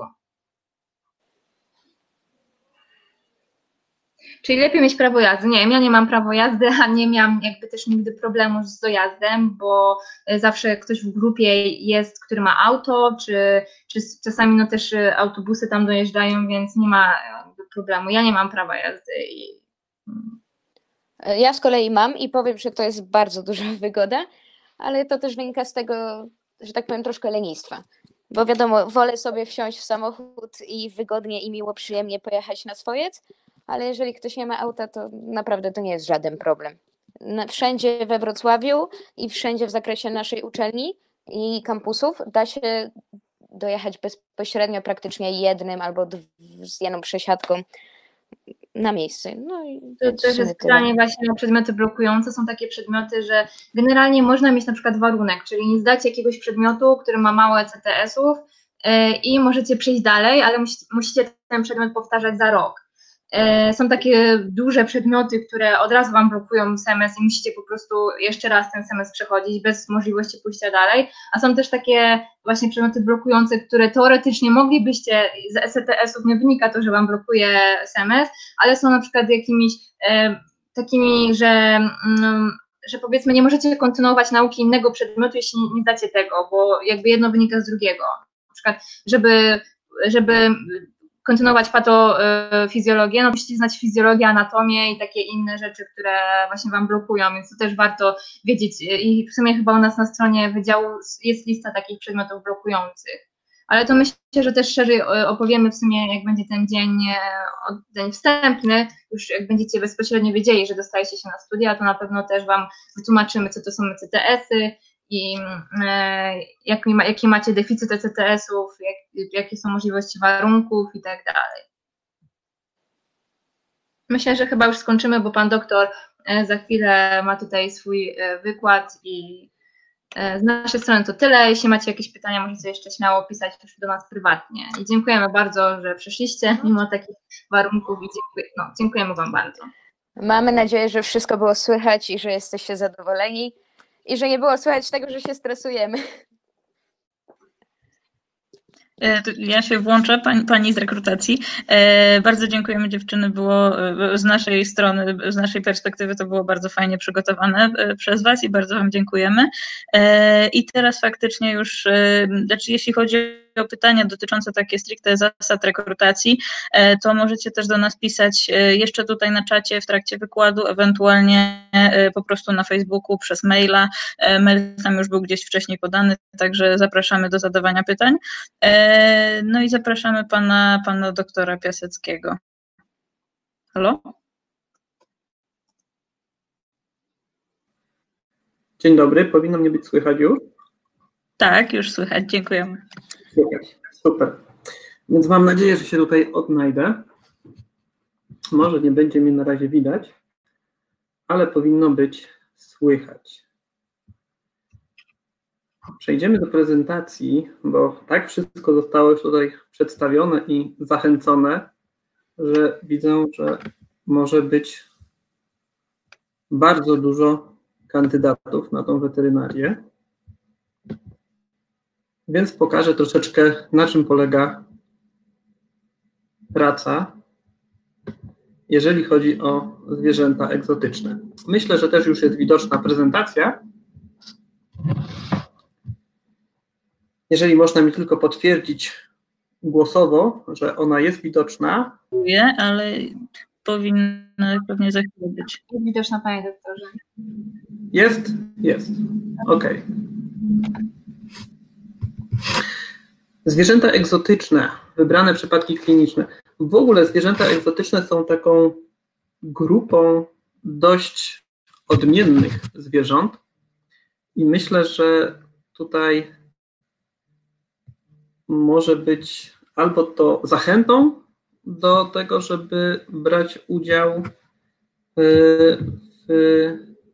nauce, tak jakby tej grupy zwierząt, albo przeszkodą. Ja myślę, że jest głównie zachętą i takim magnesem przyciągającym studentów. Często mnie ktoś pyta, jakimi zwierzętami się zajmuję. Odpowiadając, że zwierzętami egzotycznymi, to wyobrażenie o zwierzętach egzotycznych mniej więcej jest takie, jak na tym obrazku. Czyli, że pewnie są to jakieś może duże koty drapieżne. No, z pewnością żyrafa, zebra i słoń to iście egzotyczne zwierzęta. Proszę Państwa, tak i nie. W medycynie weterynaryjnej cały dział, który nazywa się zwierzętami egzotycznymi, czy też medycyną zwierząt egzotyczną, egzotycznych, to dział zwierząt zdecydowanie bliższych ludziom. Czyli są to króliki, świnki morskie, szynszyle, przeróżne gatunki ptaków, kanarki, papuszki oraz różne gatunki gadów, jaszczurki, węże, żółwie itd. Tak I to stanowi grupę zwierząt egzotycznych. Jak można już z tego zauważyć, różnorodność gatunkowa jest przeogromna. Począwszy od gadów, płazów, skończywszy na ssakach. Praktycznie całej większości tej rozmowy wcześniej prowadzonej przysłuchiwałem się e, i zostało powiedziane już bardzo wiele. Państwo zadawali pytania odnośnie nauki, anatomii, i tu panie opowiadały, że no, będziecie się uczyć na tych studiach o wielu gatunkach, ale niestety o jeszcze większej liczbie gatunków nie będziecie się uczyć. E, gdyż no, nie pomieści się to wszystko w normalnym trybie nauczania. E, więc z pewnością ciągle trzeba rozszerzać swoje znajomości, jeżeli chodzi o znajomość wiedzy, ma się rozumieć w tym przypadku, ciągle trzeba tą wiedzę pogłębiać. Począwszy od nauk podstawowych, czyli anatomii, fizjologii, skończywszy na naukach klinicznych danego gatunku. Padały pytania o specjalizację, czy są specjalizacje, kiedy się je robi. Oczywiście, proszę Państwa, w weterynarii są specjalizacje, tak samo jak w medycynie ludzkiej. Ale specjalizacje rozpoczynamy robić nie na studiach, tylko już po studiach i to co najmniej po dwóch latach, a rozsądnie byłoby nawet po trzech, pięciu latach pracy lekarza jako lekarza ogólnego. E, ponieważ no, trzeba nabierać coraz więcej praktyki i dopiero potem zacząć się specjalizować, czy to gatunkowo, czy też już medycznie. Specjalizacje są różne. Są specjalizacje gatunkowe, czyli przykład choroby zwierząt futerkowych, ale są specjalizacje kliniczne typowo, czyli choroby, czyli chirurgia weterynaryjna, radiologia weterynaryjna, choroby gatunkowe, choroby koni, choroby bydła. Tu tych specjalizacji jest kilkanaście weterynarii, które robi się, takie specjalizacje trwają co najmniej dwa lata, a niektóre trzy lata. Robi się je w systemie zaocznym już po studiach. Jeżeli chodzi o zwierzęta egzotyczne, proszę Państwa, to specjalizacji w Polsce nie ma. E, te zwierzęta egzotyczne przejawiają się i pojawiają się w różnych innych miejscach. Jest specjalizacja z zakresu chorób drobiu i ptaków ozdobnych, czyli jest tam fragment o ptakach ozdobnych, które już notabene są po części zwierzętami egzotycznymi. Jest specjalizacja z zakresu e, chirurgii weterynaryjnej, gdzie też troszeczkę się mówi o chirurgii zwierząt egzotycznych. Jest specjalizacja z zakresu zwierząt nieudomowionych i to jest chyba najbliższa specjalizacja do gatunków zwierząt egzotycznych. No ale przechodząc już do tego tematu, który był mi zadany, żeby go poprowadzić. E, jakie są możliwości w medycynie weterynaryjnej? Możliwości leczenia, możliwości diagnostyczne? Jakie są często wyobrażenia ludzi, którzy mają zwierzę i przychodzą do lekarza? Często ktoś sobie myśli, że lekarz weterynarii zajmuje się, proszę Państwa, wszystkimi gatunkami zwierząt. Być może Wy, jako osoby, które zastanawiają się, czy rozpocząć taką drogę kształcenia w kierunku lekarza weterynarii, też sobie myślą, że będziemy leczyć każdy gatunek zwierzęcia. Doktor do, do Little. Otóż nie, proszę Państwa. Dziś jest tak duży, potężny ogrom wiedzy weterynaryjnej, dotyczący każdej dziedziny weterynaryjnej, dotyczący każdego gatunku, że trudno byłoby być takim omnibusem, który by znał się na wszystkim. Wiadomo, że jeżeli ktoś się zna na wszystkim, to raczej na niczym nie zna się dobrze. Więc specjalizować się z pewnością trzeba i nie ma się co dziwić, że coraz częściej lekarze weterynarii wprost mówią, że my nie zajmujemy się królikami, proszę iść gdzie indziej. Ja nie przyjmuję psów, bo ja leczę konie, więc nie znam się na psach. Sam ze swoim psem chodzę do innego lekarza. E, to jest normalne, proszę Państwa, że nie da się wszystkim zająć. E, często ludzie sobie myślą, że przychodzimy do lekarza, lekarz wyjmie szczykawę, da zaszczyk i zwierzątko będzie zdrowe. E, no, wszyscy by sobie tego życzyli, proszę Państwa, jednak cały proces leczenia, zdrowienia to jest bardzo złożony proces, często długotrwały i poprzedzony wieloma badaniami diagnostycznymi, wieloma zabiegami, w tym również zabiegami chirurgicznymi. Często spotykam się z takim stwierdzeniem, że chomika, kanarka czy papuszki falistej nie można operować, ponieważ nie da się takiego gatunku znieczulić.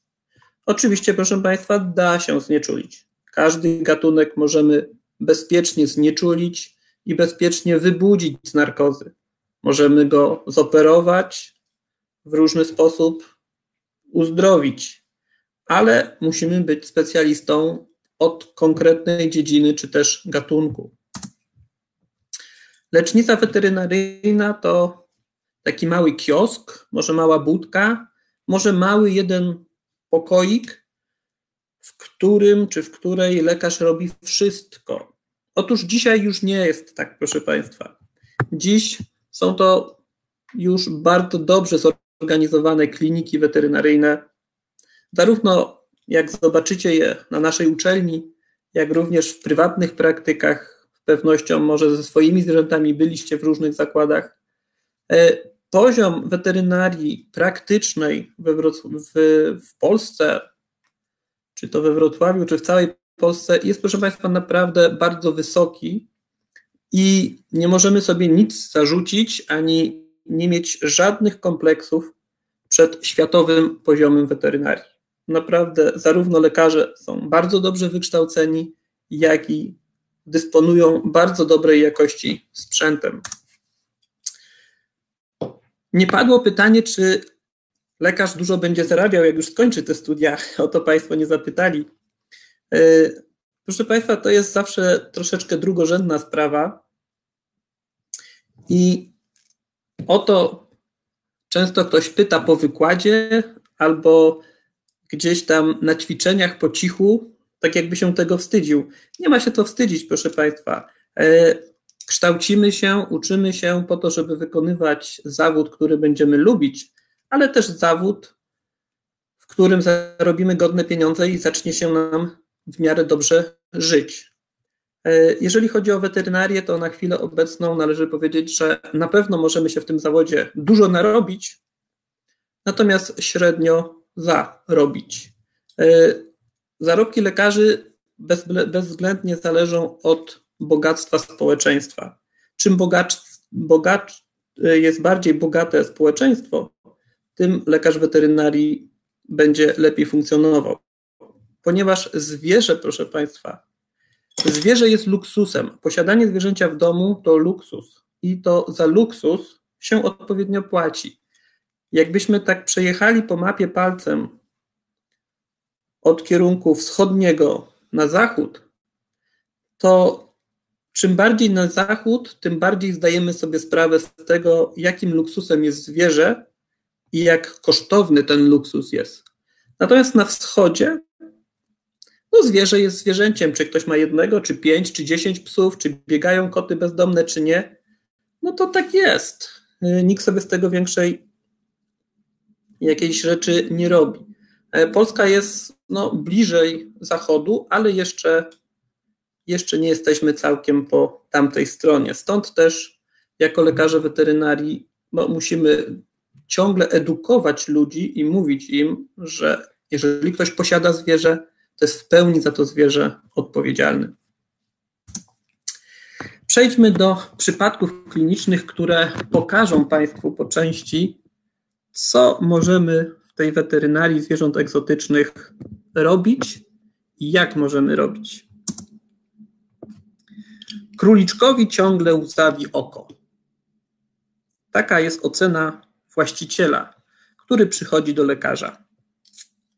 Co by można zrobić z tym króliczkiem, który ma zapłakane oczko? Czy jest mu przykro?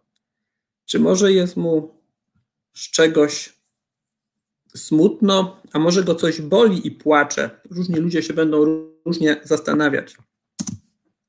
Lekarz weterynarii musi ocenić sytuację, postawić rozpoznanie. Aha, najprawdopodobniej mamy do czynienia z zapaleniem i z niedrożnością kanalika nosowo-łzowego.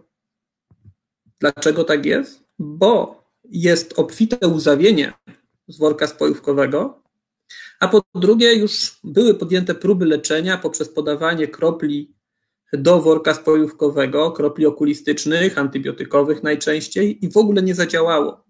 Zgadza się, nie mogło zadziałać, gdyż one nie doszły tam, gdzie powinny dojść.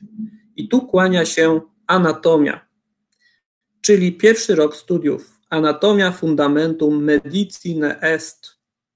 Bardzo ważny przedmiot, który trzeba sobie zapamiętać na całe życie, a być może tylko uczymy się go przez jeden rok. Yy, tak nie powinno być, musimy do niej zawsze wracać, nigdy się nie wstydzić. Trzeba wracać do tych najważniejszych przedmiotów podstawowych, a do takich należy anatomia. Dlaczego jest to trudne w leczeniu, takie ciągłe łzawienie królika? Dlatego, proszę Państwa, że ten kanalik nosowo-łzowy jest dość skomplikowany. Tu mamy zdjęcie RTG królika z pokazanymi wykontrastowanym kanalikiem nosowo-łzowym, a strzałki białe pokazują nam punkty krytyczne. Tu mamy gałkę oczną, Kanalik wychodzi od worka spojówkowego przez kość łzową od jeziorka i już napotyka pierwsze zwężenie. Następnie biegnie w dół, ma nawet z górki, można by powiedzieć, i dochodzi do drugiego zwężenia. W tym miejscu kanalik musi zakręcić w stronę przyśrodkową, podnieść się do góry, żeby znaleźć się w ujściu swoim, czyli w przedsionku jamy nosowej. Skomplikowana struktura, którą widać lepiej na obrazie trójwymiarowym z tomografii komputerowej i tutaj też na rekonstrukcji z tomografu komputerowego. Zobaczcie, ile narzędzi musi być zaangażowanych, żeby dobrze zdiagnozować taką błahą rzecz, łzawienie, przewlekłe łzawienie kanalika nosowo-łzowego. Rentgen, rentgen z kontrastem, musimy wprowadzić kontrast do kanalika i jeszcze raz powtórnie wykonać rentgen, żeby sprawdzić, w którym miejscu ewentualnie kontrast nie przechodzi dalej. Być może trzeba wykonać badanie tomografii komputerowej. E, sprzęt bardzo wysokiej klasy, sprzęt bardzo drogi, sprzęt jak w porządnym szpitalu medycyny ludzkiej. Więc tutaj pod tym względem, proszę Państwa, weterynaria niczym się nie różni sprzętowo, wyposażeniowo od medycyny ludzkiej. Kiedy mamy już rozwiązaną sprawę, znaleźliśmy, w którym miejscu jest problem, badaniem klinicznym omacujemy, uciskamy, czy to łzawi dalej. Być może już jest taki zaawansowany stan jak u tego królika. Wykonujemy zdjęcia RTG, widzimy, że kanalik jest poszerzony. W tym przypadku jest jeszcze bardziej poszerzony. Czyli wiemy, że musi być problem ze stanem zapalnym prawdopodobnie przy wierzchołku zęba siecznego. Być może będzie trzeba usunąć ten ząb, ale w pierwszej kolejności będziemy się starać wypłukać ten kanalik. I znowu nasza wiedza, zarówno anatomiczna, praktyczna i nasze umiejętności muszą doprowadzić do tego, żebyśmy w sposób prawidłowy, delikatny i odpowiedni wsunęli kaniulę do kanalika nosowo-łzowego i całą zawartość, która tam się znajduje, wypukali. Jeżeli ta zawartość będzie wychodziła już przez jamę nosową, to znaczy się, że kanalik jest w pełni drożny. Jeżeli wszystko będzie wracało do worka spojówkowego, to z pewnością mamy pełną niedrożność kanalika i będziemy musieli dalej diagnozować i zastanawiać się, jak podjąć dalsze leczenie. Inny przypadek. Papuszka ma za długi dziobek. Wiele razy ktoś przychodzi z papugą i mówi, bo jej przerasta dziób.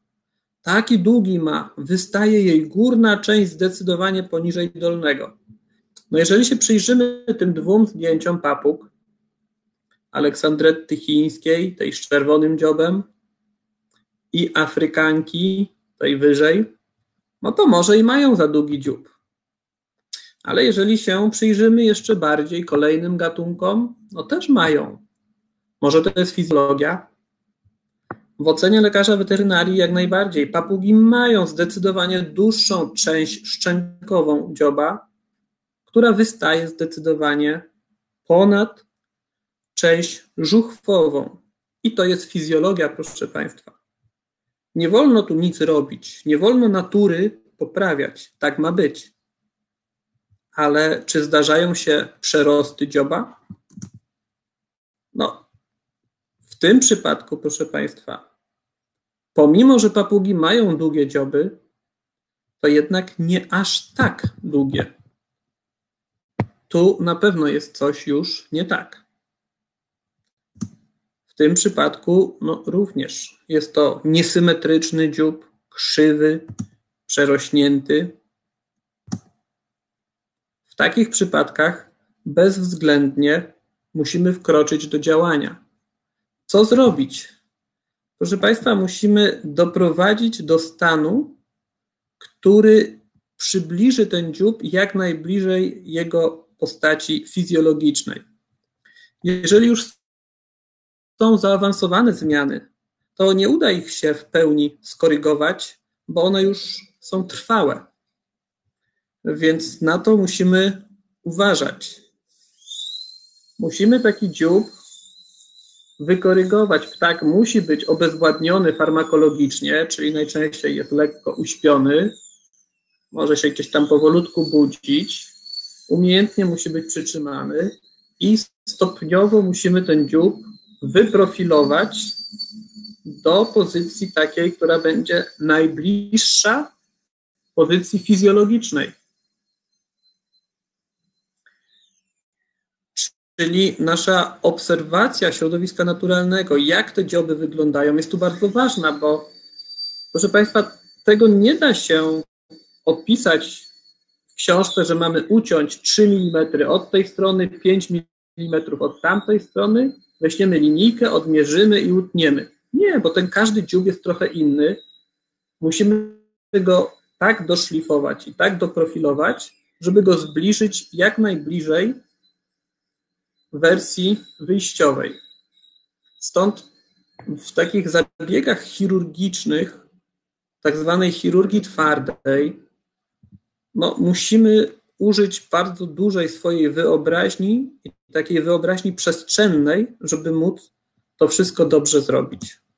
Zdarzają się urazy dzioba. Ptaki ulegają często wypadkom, bo są połączone większe gatunki z mniejszymi gatunkami. E, wypadkom komunikacyjnym w domu, bo fruwały po mieszkaniu, uderzyły w szybę, a ktoś drzwiami go przyczasnął, a ktoś go niechcący nadepnął. Takich wypadków jest bardzo dużo ze zwierzętami w domu, zwłaszcza z małymi zwierzętami, które gdzieś biegają i możemy go nie zauważyć, bo jesteśmy nieuważni. Tak jak w tym przypadku musimy odpowiednio zespolić rozłamany dziób. Musimy założyć odpowiednią masę usztywniającą, tak jak plombę na zęba, żeby ten zub był, żeby ten dziób był funkcjonalny, bo ptak musi jakoś przecież pobierać pokarm, a to będzie się goiło długo, zanim dojdzie do wzrostu, a wzrost będzie tylko w warstwie rozrodczej. Tu u góry wiadomo, że róg dziobowy jak nasz pasnokieć, martwa rzecz, tylko w warstwie rozrodczej jest żywa, więc tu musi dojść do wzrostu. Po około 6-8 tygodniach już jest na dole wzrost, tu jeszcze są klamry z drutu, żeby był utrzymywany ten dziób i on cały czas rośnie jak nasz paznokieć i się ściera. Więc w momencie, kiedy on dorośnie do samego końca, te klamry już tu u góry będziemy ściągać, to wyrośnie nam nowy, właściwy dziób. Jeżeli ktoś kiedyś sobie przytukł palec i schodził mu paznokieć, to jest właśnie taki proces jak z tym dziobem. Tu mamy po trzech miesiącach nowy dziób. Czasami zdarza się, że ptak straci fragment dzioba. Więc musimy się wykazać różną twórczością, żeby w jakiś sposób ten dziób mu dorobić. Może wydrukować 3D, ale jakoś trzeba go potem dokleić, jakoś trzeba go zrekonstruować. Musimy znowu operować, żeby ten dziób był mniej albo bardziej, ale jednak funkcjonalny i żeby służył do pobierania pokarmu.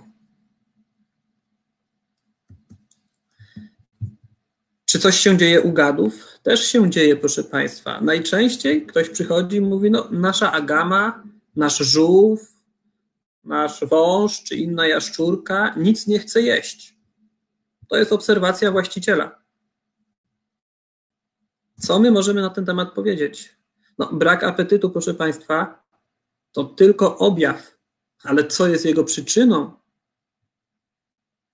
I wtedy szukamy po naszych szufladkach w mózgu przez te wszystkie lata, które żeśmy się uczyli, co może być przyczyną, że ten zwierzak nie chce jeść. Może coś zjadł i mu zablokowało przewód pokarmowy. Może. Hmm, tu chyba nic nie ma, ale jak się dobrze przyjrzycie, to ten legwan zielony buszował chyba gdzieś w garderobie. Nie wiem skąd mu się wzięła ta agrawka w brzuchu. A może jednak nic nie zjadł, może ma co innego. Może to jest samica, która nie może złożyć jaj. Też wtedy będzie anoreksja, też wtedy nie będzie pobierała pokarmu. Więc dalej musimy uskutecznić różne metody diagnostyczne, żeby potwierdzić, czy mamy do czynienia z ciałem obcym, czy mamy do czynienia z zalegającymi jajami, żeby je usunąć. Jeżeli to jest zaparcie jaj, może być spowodowane złymi warunkami utrzymania, niewłaściwym doborem zwierząt do hodowli, różnymi chorobami układowymi, czy też mechanicznie te jaja się zblokowały i nie chcą być złożone.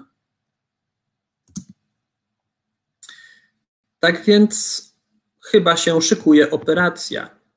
Ale czy gada da się zoperować, proszę Państwa? Znowu, gdzieś można usłyszeć, że pewnie nie, ale da się. Musimy go przygotować anestezjologicznie, czyli musimy go spremedykować. Musimy mu założyć tak zwaną rurkę intubacyjną, czyli żeby była pełna drożność układu oddechowego i żebyśmy mogli prowadzić oddech tak zwany kontrolowany, czyli do tchawicy wkładamy, to się nazywa rurka intubacyjna i w tej chwili już będziemy mogli prowadzić oddech kontrolowany u takiego zwierzęcia, które jest już przygotowane, podłączone do aparatu anestezjologicznego. Podawaną mieszankę anestetyczną. Oddychamy często za to zwierzę, więc musimy sterować jego oddechem Dziś tyle się mówi o urządzeniu, które się nazywa respirator, czyli urządzenie, które steruje naszym oddechem, jak mamy albo niemożność samemu oddychania, samemu, żeby oddychać, ale też podczas zabiegów operacyjnych dużych, zwłaszcza takich zabiegów, gdzie dochodzi do silnego zwiotczenia mięśni. U wszystkich zwierząt zakładamy, czy to wąż, czy to jaszczurka, czy to żółw, rurkę intubacyjną i prowadzimy oddech. Trzeba się zastanowić, w którym miejscu to zwierzę przeciąć. Jak go otworzyć? Czy z tej strony, czy z tej strony? Zawsze mi się, patrząc na to zdjęcie, przypomina taki urywek filmu komedii polskiej, bodajże jak rozpętano II wojnę światową, albo coś w tym deseń. I tam też tak w namiocie zastanawiali się ci, co udawali, że są lekarzami, jak mieli operować kogoś, jakiś wyrostek, w której strony go przeciąć. Narysowali kółko, krzyżyk i gdzieś tam przecięli. No tu nie damy rady narysować kółka, krzyżyk, tylko musimy dokładnie wiedzieć, czy to będzie cięcie w tak zwanej linii białej, czy to będzie cięcie paramedialne, czy to będzie cięcie boczne. I wyjąć zawartość, która jest przyczyną problemu tego zwierzęcia. W tym przypadku są to zalegające jaja, których zwierzę nie może samoistnie złożyć z różnych przyczyn, często błędów hodowlanych, bo ktoś nie sprostał temu, jak to zwierzę powinno być utrzymywane w domu?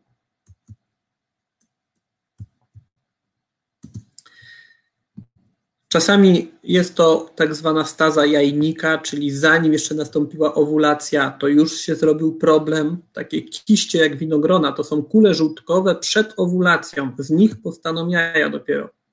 No albo są to ciała obce, bo zwierzę było na niewłaściwym podłożu, najadło się a to kostki drewnianej, bukowej, a to innych elementów piachu, który zablokował i zaczopował przewód pokarmowy. Cóż może jeszcze przyjść do nas i z jakimi wyzwaniami jeszcze możemy się zetknąć? Nasz króliczek kuleje, coś mu się stało z nóżką. No to się stało, proszę Państwa.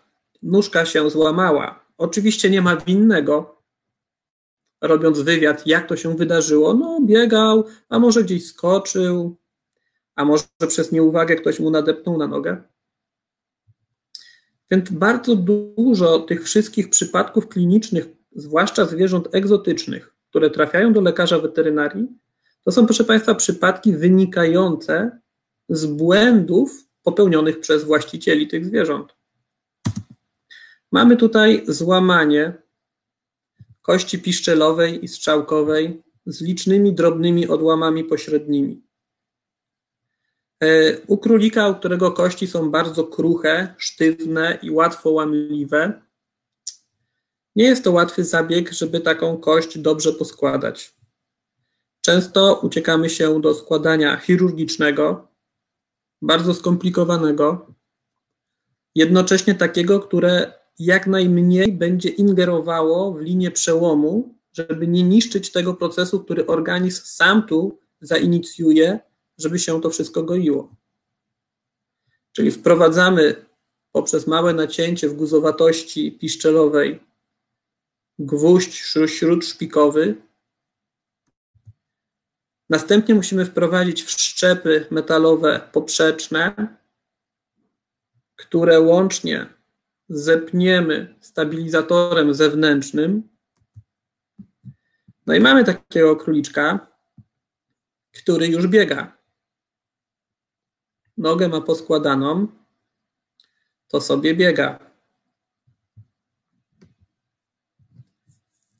Sześć tygodni będzie biegał z takimi urządzeniami, aż na kontrolnym zdjęciu RTG zauważymy, że już jest wzrost, że możemy już zdjąć stabilizację i że proces gojenia jest już dobrze zaawansowany, kość jest już w trakcie przebudowy i po kolejnych kilku miesiącach ulegnie bardzo ładnej przebudowie królik wraca już do normalności. Proszę Państwa, jak widzicie, możemy się spotkać z bardzo licznymi gatunkami, z bardzo różnymi wyzwaniami. Jest to praca z pewnością bardzo interesująca i nigdy nie dająca się nudzić. Więc jeżeli byście mieli jakieś pytania odnośnie samej pracy, to chętnie odpowiem. Dopiero teraz, bo wcześniej nie widziałem, jak to działało. Yy, I jeszcze coś mogę podpowiedzieć.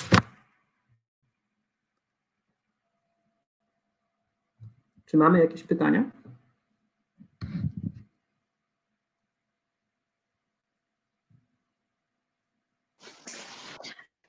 Tutaj widzę, pisze, więc może jeszcze chwilę poczekamy. Mhm.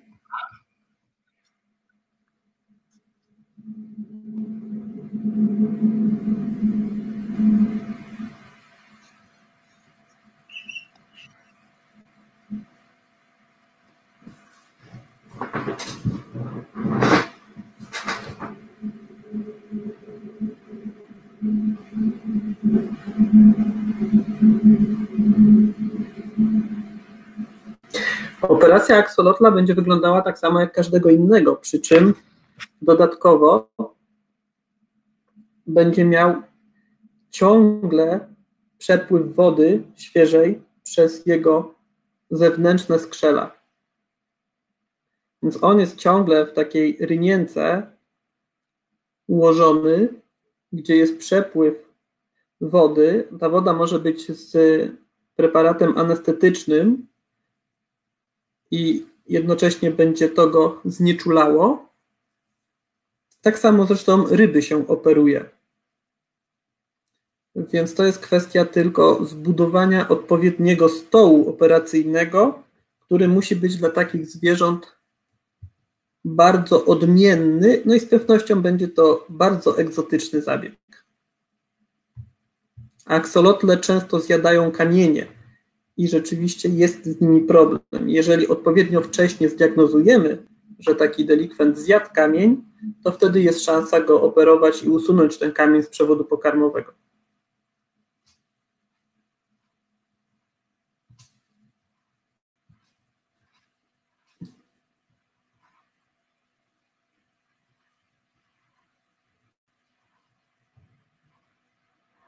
Po pierwszym roku nie, przyjmuję na praktyki według e, skierowań takich, które są obowiązkowymi praktykami. I wtedy zawsze mamy tak zwane praktyki wakacyjne. Po dwa tygodnie studenci z całej Polski mają praktyki. Trzeba składać odpowiednio wcześnie e, podanie o takie praktyki, bo zawsze jest dość duża kolejka. Także to jest od trzeciego, czwartego roku.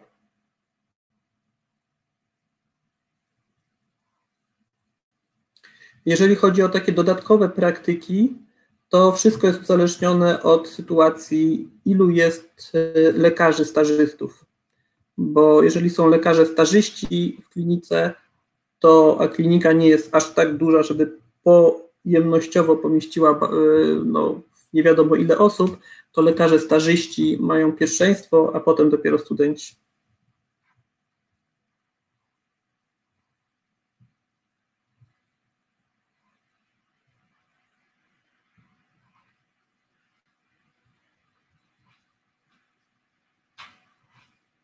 Ale zapraszam do zgłębiania wiedzy w ramach koła naukowego, gdyż tu można się bardzo dużo nauczyć w kole naukowym Mefitis.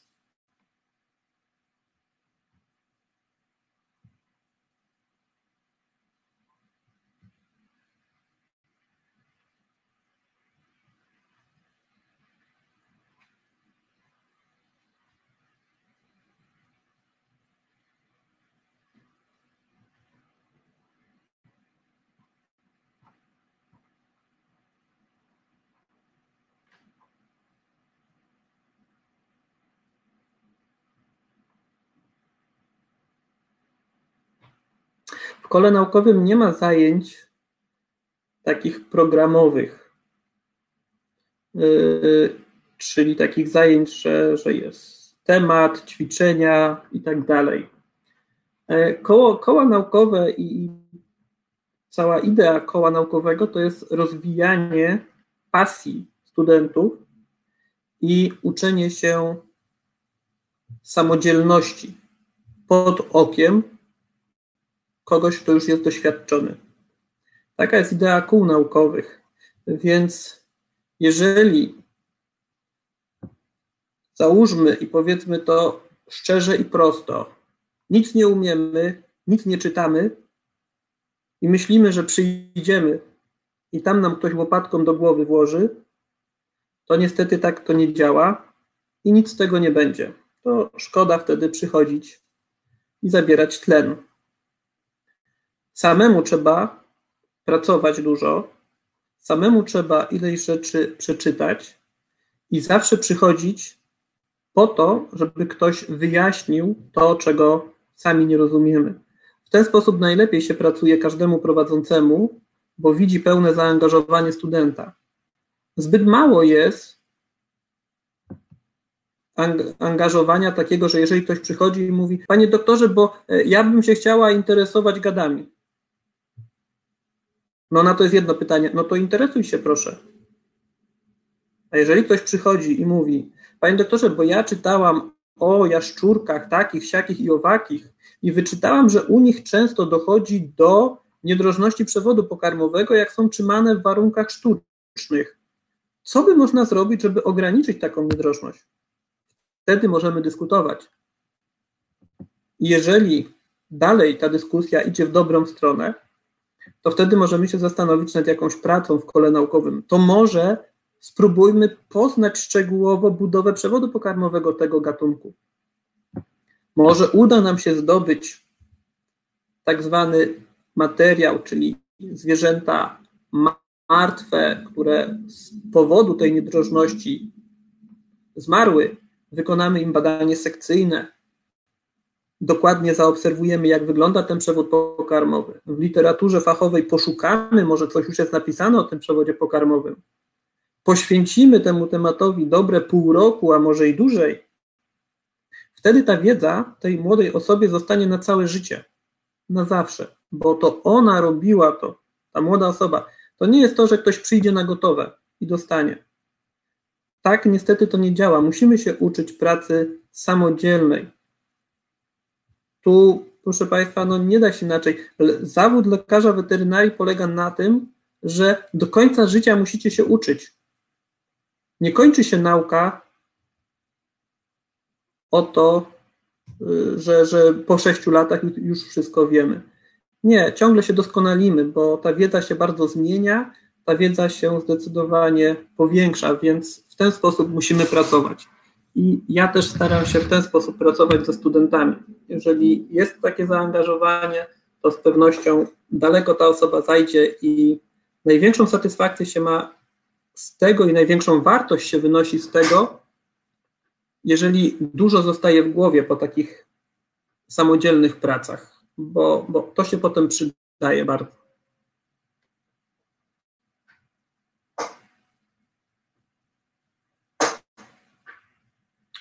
Czy coś jeszcze?